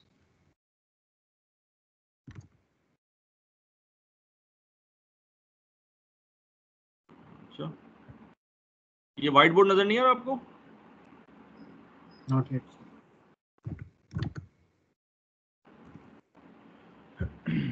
in progress लिखा। अब आया? अब आया नज़र नो सर अच्छा। The members of सही है हाँ? इसमें लिखा आ रहा है only members of this organization can participate से हम लोग एज अ गेस्ट और हम लोग ने ज्वाइन इन अच्छा, किया अच्छा, ओके, ओके। तो ठीक है। ओके ओके मैं समझ गया। ओके चलें ठीक है। चलें ठीक है चलें कोई बात नहीं। मैं कह रहा हूँ कि एक बॉन्ड है लेट सपोज़ इस तरह का बॉन्ड है तो इस, इस बॉन्ड पे ना यहाँ पे जैसे अगर ये ये मैं पेपर कहूँ इट्स अ बॉन्ड ठीक है ना? इस बॉन्ड पे आपको यहाँ पे ना जैसे थाउज़ेंड रुपीज़ लिखा होगा यानी फेस वैल्यू लिखी होगी तो वो जो फेस वैल्यू होती है उसको कहते हैं पार वैल्यू ठीक है ना? तो वो बॉन्ड की फेस पे लिखी होती है। जैसे आप सौ रुपए का नोट दें तो वो हंड्रेड रुपीज़ लिखे होते हैं साइड पे। तो उसकी फेस वैल्यू होती है। तो हर हर इंस्ट्रूमेंट की कोई फेस वैल्यू होती है। तो बॉन्ड की जो फेस वैल्यू होती है वो वो लिखी होती है। और हमने अज्यूम अमूमन जो है वो थाउज़ेंड रुपीज़ ही अज्यूम करते हैं। ठीक है? तो we assume it thousand rupees it is written on the face इसके लिए इसको फेस वैल्यू कहते हैं। टीवीएम के कॉन्टेक्स्ट में इसको कौन से कलेक्ट करेंगे? क्या ये प्रेजेंट वैल्यू है या फ्यूचर वैल्यू है? पीएमटी है? क्या है ये? जी। Future value future value very good ज़बरदस्त। फ्यूचर वैल्यू है क्योंकि ये फेस वैल्यू जो है आपको उस वक्त मिलेगी जब आप बॉन्ड रिटायर करेंगे। तो फेस वैल्यू का मतलब ये होता है दिस इज़ द वैल्यू जिस वक्त आप बॉन्ड रिटायर करने जाएँगे बैंक को तो वो आपको इस ये वैल्यू देगा इसको कहते हैं फेस वैल्यू क्लियर है? बात समझ में आई? अच्छा। जी सर सेकंड क्या है? सेकंड है coupon rate coupon interest rate coupon rate क्या होता है? ये सम, ये भी ये भी समझ लें कि फॉर एग्जांपल ये बॉन्ड है ना ये, अगर ये बॉन्ड है तो इसके पीछे ना कुछ कूपन्स लगे होते हैं कूपन्स अटैच होते हैं ठीक है? वो कूपन अटैच होते हैं तो फॉर uh, एग्जांपल अगर ये 10 साल का बॉन्ड है और सेमी एनुअल अमूमन जो है बॉन्ड जो है कि पेमेंट सेमी एनुअल होती है। सो so, अगर ये 10 साल का बॉन्ड है तो इसके पीछे कितने कूपन होंगे? हाँ? सेमी एनुअल पेमेंट होगी। हाँ? ट्वेंटी कूपन ट्वेंटी कूपन तो तो उसके उसके बॉन्ड के पीछे ना ट्वेंटी कूपन होते हैं। आजकल तो सिस्टम वो हो गया है इलेक्ट्रॉनिक हो गया है तो उसमें कूपन नहीं होते वो आपके बैंक अकाउंट में डायरेक्टली डाल देता है। लेकिन जब पहले ज़माने में जब मैनुअली होता था तो उसके पीछे कूपन होते थे। तो you will have a twenty coupon that is attach at the back of the bond अच्छा हर कूपन पे एक डेट लिखी होती थी। फॉर एग्ज़ाम्पल लिखी है थर्टी जून 2020 एक लिखी होगी थर्टी फ़र्स्ट दिसंबर 2020 यानी कि वो सिक्स सिक्स मंथ्स के फ़र्क की डेट लिखी होती है। तो जब वो डेट आती है तो आप वो कूपन डिटैच करते हैं बैंक में जाते हैं और आपको आपका इंटरेस्ट मिल जाता है यानी कि उसकी कैश फ्लो मिल जाता है। तो उसको कहते हैं कूपन इंटरेस्ट रेट ठीक है ना? सो so, जिस रेट से आपको कूपन मिले उस रेट को कूपन रेट कहा जाता है ठीक है? कूपन रेट मेंशन होता है बॉन्ड की फेस वैल्यू पर यानी फेस पे मेंशन होता है। लेट सपोज़ अगर कूपन टेन परसेंट है so ten percent multiply by the face value will get the coupon ठीक है? तो कूपन रेट ये वो रेट है कि जिसको आप फेस वैल्यू से मल्टीप्लाई करेंगे तो आपका कूपन बनेगा कूपन पेमेंट बनेगी या कैश फ्लो बनेगा या पीएमटी बनेगा ठीक है? तो coupon rate is basically TVM के कॉन्टेक्स्ट में क्या है? पीएमटी है। क्लियर है? पीएमटी का परसेंट है basically it is use to calculate PMT ठीक है? राइट सर ओके थर्ड क्या है? थर्ड है मेच्योरिटी क्या कह रहे हैं? सर जी सर आई एम से आस्किंग कि अगर uh, जैसे अब आजकल के दौर में तो एवरीथिंग इज़ लाइक ऑनलाइन ना तो अब मेरे हाँ। ख्याल है आप जैसे कि बताया कि you don't have to go to the bank और एनीवन और हाँ, वो आपके हाँ। अकाउंट में डायरेक्टली क्रेडिट हो जाता है तो हाँ। The terminology that will be used still would be the coupon interest हाँ रेट और हाँ ओके ये टर्मिनोलॉजी है मैंने सिर्फ़ ये बताया कूपन क्यों कहते हैं? आजकल तो आपको नहीं पता वो हाँ। कूपन क्यों कहते हैं तो इसलिए मैंने बताया वरना इसको जो कन्वेंशन है वो कूपन रेट ही कहा जाता है ठीक है ना? वो क्यों कहते हैं इसके लिए मैंने थोड़ा पुराने आपको एक एग्जांपल दे दी थी। ठीक है तो that is the that is how you can get the the rate इससे आपको पेमेंट मिलेगी तो टीवीएम के कॉन्टेक्स्ट में टाइम वैल्यू मनी के कॉन्टेक्स्ट में ये जो कूपन इंटरेस्ट रेट है this rate is multiplied by the face value to get the PMT basically ठीक है ना? तो दूसरी चीज़ हो गई कूपन रेट ये दो बड़ी अहम चीज़ हो गई। तीसरा क्या है? मेचोरिटी डेट मेचोरिटी डेट का मतलब ये होता है कि कितने साल वो बॉन्ड है। तो ये भी आपको मालूम होता है बॉन्ड की फेस पे लिखी होती है। तो अगर 20 साल का बॉन्ड है तो उसकी मेचोरिटी डेट आपको पता है कि 20 years afterwards that will be the maturity date चौथी चीज़ होगी इशू डेट इशू डेट का मतलब है बॉन्ड कब इशू हुआ है। अगर आज आपके पास बॉन्ड है तो मे बी वो दो साल पहले इशू हुआ है तो और दस साल का बॉन्ड है तो आपकी आठ साल बाद मेच्योरिटी है, दो साल पहले इशू हुआ है। तो इशू डेट होती है। Clear last is yield to maturity इसको कहते हैं इंटरेस्ट रेट वाईटीएम या इंटरेस्ट रेट इंटरेस्ट रेट क्या होता है? Interest rate is the return if if you hold that bond until it matures इसको कहते हैं यील्ड टू मेच्योरिटी अगर आपने ये बॉन्ड बाय किया है, जब तो जब तक ये मेच्योर नहीं होता तो अगर आपने इस नियत से बाय किया है कि you are holding this bond until it matures So the rate, the return that you will be getting on this bond is called YTM, yield to maturity, और सादे जबान में इंटरेस्ट रेट क्लियर है? हम्म। कोई सवाल? क्वेश्चन तो sir इसमें interest rate would be much higher than जो आपको मिल रहा होता था लाइक कूपन इंटरेस्ट रेट पे। अब सवाल अब एक सवाल तो बिल्कुल जेनुअन है आपका जैसा आपने एक पुट किया। कि ये अगर हम इसको इंटरेस्ट रेट कहेंगे तो ये का इंटरेस्ट ये भी इंटरेस्ट रेट है। ये भी तो वही मिल रहा है ना कैश फ्लो मिल रही है। तो क्या क्या इंटरेस्ट रेट और कूपन रेट सेम होगा? ज़रूरी तो नहीं है सर सर डिफरेंट होगा डिफरेंट होगा वजह? सर वजह सर आपका कूपन अगर ज़्यादा हो और आपको उस पर रिटर्न कम मिल रहा हो फिर? ये कैसे हो सकता है? जितना कूपन अगर कूपन टेन परसेंट तो रिटर्न भी टेन परसेंट ही मिलेगा ना। नहीं सर अगर आप प्रीमियम पे जाके बाय कर रहे हैं फिर किसमें जाके? प्रीमियम पे पे? जाके बाय कर रहे हैं। और रुपए से अच्छा। ज़्यादा भी चीज़ के लिए नहीं दे सकते। हाँ ज़बरदस्त ज़बरदस्त। हाँ। सिप्ते मुर्तजा ने अच्छी बात कही। उसने कहा कि भाई अगर आप बॉन्ड जो है प्रीमियम पे बाय करेंगे तो आपको जो बॉन्ड में जो इंटरेस्ट मिलेगा वो तो फेस वैल्यू से मिलेगा। तो जो आपने एक्स्ट्रा जो पेमेंट की है, यानी कूपन रेट मिलेगा वो तो फेस वैल्यू से मिलेगा तो एक्स्ट्रा जो है दैट विल बी द तो आपका इंटरेस्ट रेट कम होगा कूपन रेट ज़्यादा होगा, ये बात।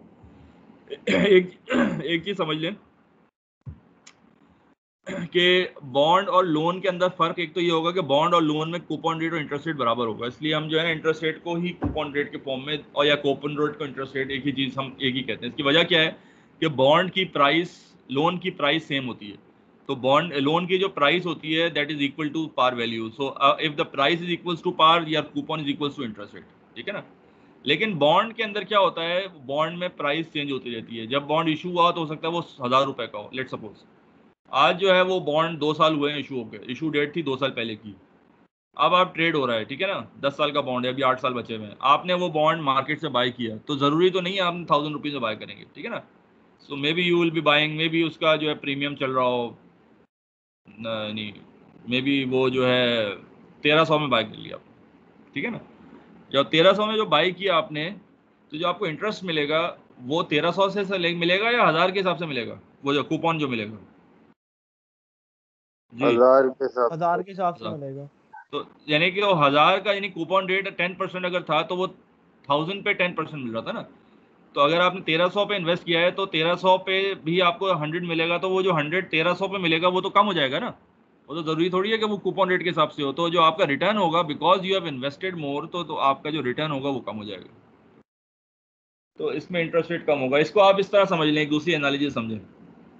रिटर्न जो होता है that is basically based on two component one is cash flows and other one is capital gain and loss ठीक है? तो जैसे बॉन्ड शेयर है शेयर के अंदर जो है, अगर आपने शेयर में इन्वेस्ट किया हुआ है कैपिटल इक्विटी में तो जो आपका शेयर का जो रिटर्न आएगा, वो जो है, वो दो फॉर्म में आएगा, या तो डिविडेंड की फॉर्म में आएगा, या कैपिटल गेन की फॉर्म में आएगा। यानी कि अगर आपने एक साल के दौरान इन्वेस्ट किया हुआ है तो मे बी बीस रुपये का आपको डिविडेंड मिल गया था, और आपने सौ रुपये की चीज़ थी, वो एक सौ बीस में बेच दी तो बीस रुपये का कैपिटल गेन हो गया तो जो टोटल रिटर्न है, आपका चालीस रुपये होगा, बीस रुपये का डिविडेंड बीस रुपये का कैपिटल गेन ठीक है ना? अगर आपने बॉन्ड प्रीमियम पे बाय किया हुआ है तो you will be having a capital loss तो ten percent of in coupon rate will be lowered by the capital loss of some percentage to get at the interest rate so that is why interest rate will be lesser than the coupon rate समझ में आई बात? यहाँ तक बात समझ में आई? नहीं sir ये रिपीट कीजिएगा एक दफ़ा क्या बोले? रिपीट कीजिएगा प्लीज़ मैं मैं ये बोल रहा हूँ कि कूपन रेट और इंटरेस्ट रेट ये सेम नहीं होता ज़रूरी नहीं है वो सेम हो। क्योंकि आपकी प्राइस जो है आपने एक महँगी चीज़ बाई की है हज़ार रुपये उसकी फेस वैल्यू थी आपने तेरह सौ में बाई किया है तो जो आपको रिटर्न मिलेगा अगर आपने तेरह सौ में बाई किया है आज तो उसको आपको मेचोरिटी पे कितना रुपए मिलेंगे? तेरह सौ मिलेंगे हज़ार मिलेंगे? हज़ार। हज़ार मिलेंगे। तो आपका कैपिटल गेन होगा या लॉस होगा? लॉस लॉस हाँ? लॉस होगा। सर थ्री हंड्रेड का लॉस होगा। सो दैट मीन्स के आपका टेन परसेंट का जो गेन है और थ्री हंड्रेड का लॉस है जो आठ साल में होगा उसको थ्री हंड्रेड को अगर परसेंटेज में से माइनस करेंगे तो दो परसेंट या तीन परसेंट बनेगा। तो असल जो आपका इंटरेस्ट रेट होगा वो ten percent minus that capital loss होगा बेसिकली तो इंटरेस्ट रेट कम होगा कूपन रेट ज़्यादा होगा। कूपन रेट तो आपको टेन परसेंट के हिसाब से मिलेगा लेकिन एक्चुअली रिटर्न जो है आपको कम मिलेगा due to the capital loss similarly अगर आपने वो चीज़ हज़ार की चीज़ आठ सौ में बाई की है तो दो सौ रुपये कैपिटल गेन हो जाएगा तो फिर आपको इंटरेस्ट रेट कूपन रेट ज़्यादा मिल जाएगा। तो डिपेंडिंग अपॉन कि किस प्राइस पे आपने बॉन्ड बाई किया है आपका जो रेट है वो फ्लक्चुएट करेगा। बात समझ में आई? सर फिर इसमें हमारा कोई बेनिफिट होगा that we are going for हाँ हाँ ये तो होगा। ये मैं आपको बाद में बताऊँगा कि ये प्राइस जो है यानी फिर सवाल ये है कि वो हज़ार रुपए की चीज़ में को बारह सौ में कौन बाय करेगा क्यों बाय करेगा? सवाल फिर ये आता है ना। यस है ना? तो तो वो हम अभी डिस्कस करते हैं। हाँ बताएँ। हज़ार चीज़ हज़ार रुपए की चीज़ को बारह सौ में क्यों बाय करेगा कोई? कूपन कैश फ्लो अपनी मैचिंग करनी होगी? अच्छा आप बताएँ डिमांड सप्लाई के हिसाब से बताएँ। चलो। सर उस पर कूपन मतलब रेट जब जो है कम मिल रहा होगा हाँ। और कूपन ज़्यादा हो रहा होगा तो हाँ। टेक्निकली हाँ। जाके हाँ यानी कि आप ये समझे कि मार्केट में अगर इंटरेस्ट रेट आठ परसेंट चल रहा है और आप दस परसेंट दे रहे हैं तो क्या करेंगे लोग आपकी तरफ़ आएँगे जब आपकी तरफ़ आएँगे तो demand of your bond will go up और वो वो डिमांड गो अप होके तेरह परसेंट हो अच्छा जैसे आपकी प्राइस बढ़ती रहेगी बॉन्ड की आपका रिटर्न कम होता रहेगा सो प्राइस उस वक्त तक बढ़ जाएगी जब तक कि आपका रिटर्न इंटरेस्ट रेट के हिसाब से ना हो जाए सर ये अभी Clear? क्लासिक कोविड में ही देखा था ना कि जब इंटरेस्ट रेट अभी बिल्कुल नीचे चले गए थे तो हाँ। बॉन्ड बॉन्ड जब ज़्यादा हो गए थे और रिटर्न कम हो गए थे तो वो सौ की चीज़ सौ से ज़्यादा में मिल रही थी and people will buying it हाँ। ड्यूरिंग द कोविड टाइम हाँ। तो तो ज़रूरी नहीं है कि प्राइस जो है वो फेस वैल्यू के इक्वल हो मार्केट जो है उसी को वो कर सकती है उसमें ना चेंजेस वगैरह। क्लियर है? यहाँ तक बात। Yes yes. अच्छा अब आप ये चीज़ समझें कि बॉन्ड की जो असल रिटर्न है वो कूपन रेट नहीं है इंटरेस्ट रेट है, ठीक है ना? इंटरेस्ट रेट के बारे में थोड़ा सा मैं समझा दूँ कि इंटरेस्ट रेट इज़ द अगर हम कहेंगे व्हाट इज़ इंटरेस्ट रेट तो वो ये है दैट मीन्स कि the return you earn on the bond if you are holding that bond presumably you are holding that until it matures. So, the return that you will be getting on this bond is called the interest rate, ठीक है? Interest rate हर bond का different हो सकता है, क्योंकि हर bond का रिटर्न डिफरेंट हो सकता है। तो interest rate can be can be different at level form but they move together ये बड़ी इंपॉर्टेंट बात है। इंटरेस्ट रेट जो है, वो मूव एक साथ करते हैं they may be different at level form इसका मतलब क्या है? इसका मतलब ये है कि मुल्क में अगर इंटरेस्ट रेट बढ़ जाएँगे तो आपके बॉन्ड की वाईटीएम भी बढ़ जाएगी। अगर हो सकता है इंटरेस्ट रेट क्योंकि डिफरेंट सिक्योरिटी के डिफरेंट रेट हों दे आर थाउज़ेंड सिक्योरिटीज और थाउज़ेंड डिफरेंट रेट चल रहे हो मार्केट में लेकिन वो दे ऑल मूव टुगेदर अगर आपका डिस्काउंट रेट बढ़ गया या स्टेट बैंक ने इंटरेस्ट रेट बढ़ा दिए so what will happen all the spectrum broad spectrum में लो रिस्क से हाई रिस्क तक के स्पेक्ट्रम के जितनी भी रेट्स हैं वो सब बढ़ जाएँगे। ठीक है ना? ये बात समझ में आई बात? Yes sir. कैसे बढ़ जाएँगे? ये भी तो ज़रूर हाँ? ये भी तो ज़रूरी नहीं है। क्यों नहीं ज़रूरी है? बताएँ क्यों? सर देखें टाइम जो है जैसे बहुत ज़्यादा लॉन्ग टर्म सिक्योरिटीज होती हैं ठीक हाँ है? हाँ हाँ। Short term movement of interest rate से जो है वो हाँ। लिंक नहीं होती। तो फॉर इंस्टेंस अगर आप इंटरेस्ट रेट मूव करेंगे तो फॉर इंस्टेंस टीबल्स और शॉर्ट टर्म पीआईबीज तो मूव हो जाएँगे।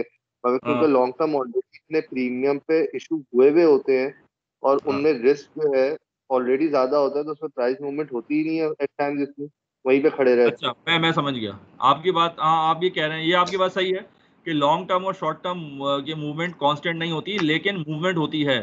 यानी कि आप ये समझें कि अगर एक बॉन्ड जो है वो, अगर इंटरेस्ट रेट एक पॉइंट बढ़ा है तो हो सकता है एक बॉन्ड दस पॉइंट बढ़ जाए और एक बॉन्ड सिर्फ़ एक पॉइंट बढ़े। ये तो हो सकता है। लेकिन ऐसा नहीं हो सकता कि अगर इंटरेस्ट रेट एक पॉइंट बढ़ गया तो सारे बॉन्ड बढ़ गए और ये वो कम हो जाए। तो दे मूव टुगेदर लेकिन कितने मैग्नीट्यूड से मूव करता है, वो हर बॉन्ड का डिफरेंट होता है। ये आप ये समझ लें, इसको रिकनसाइल कर लें।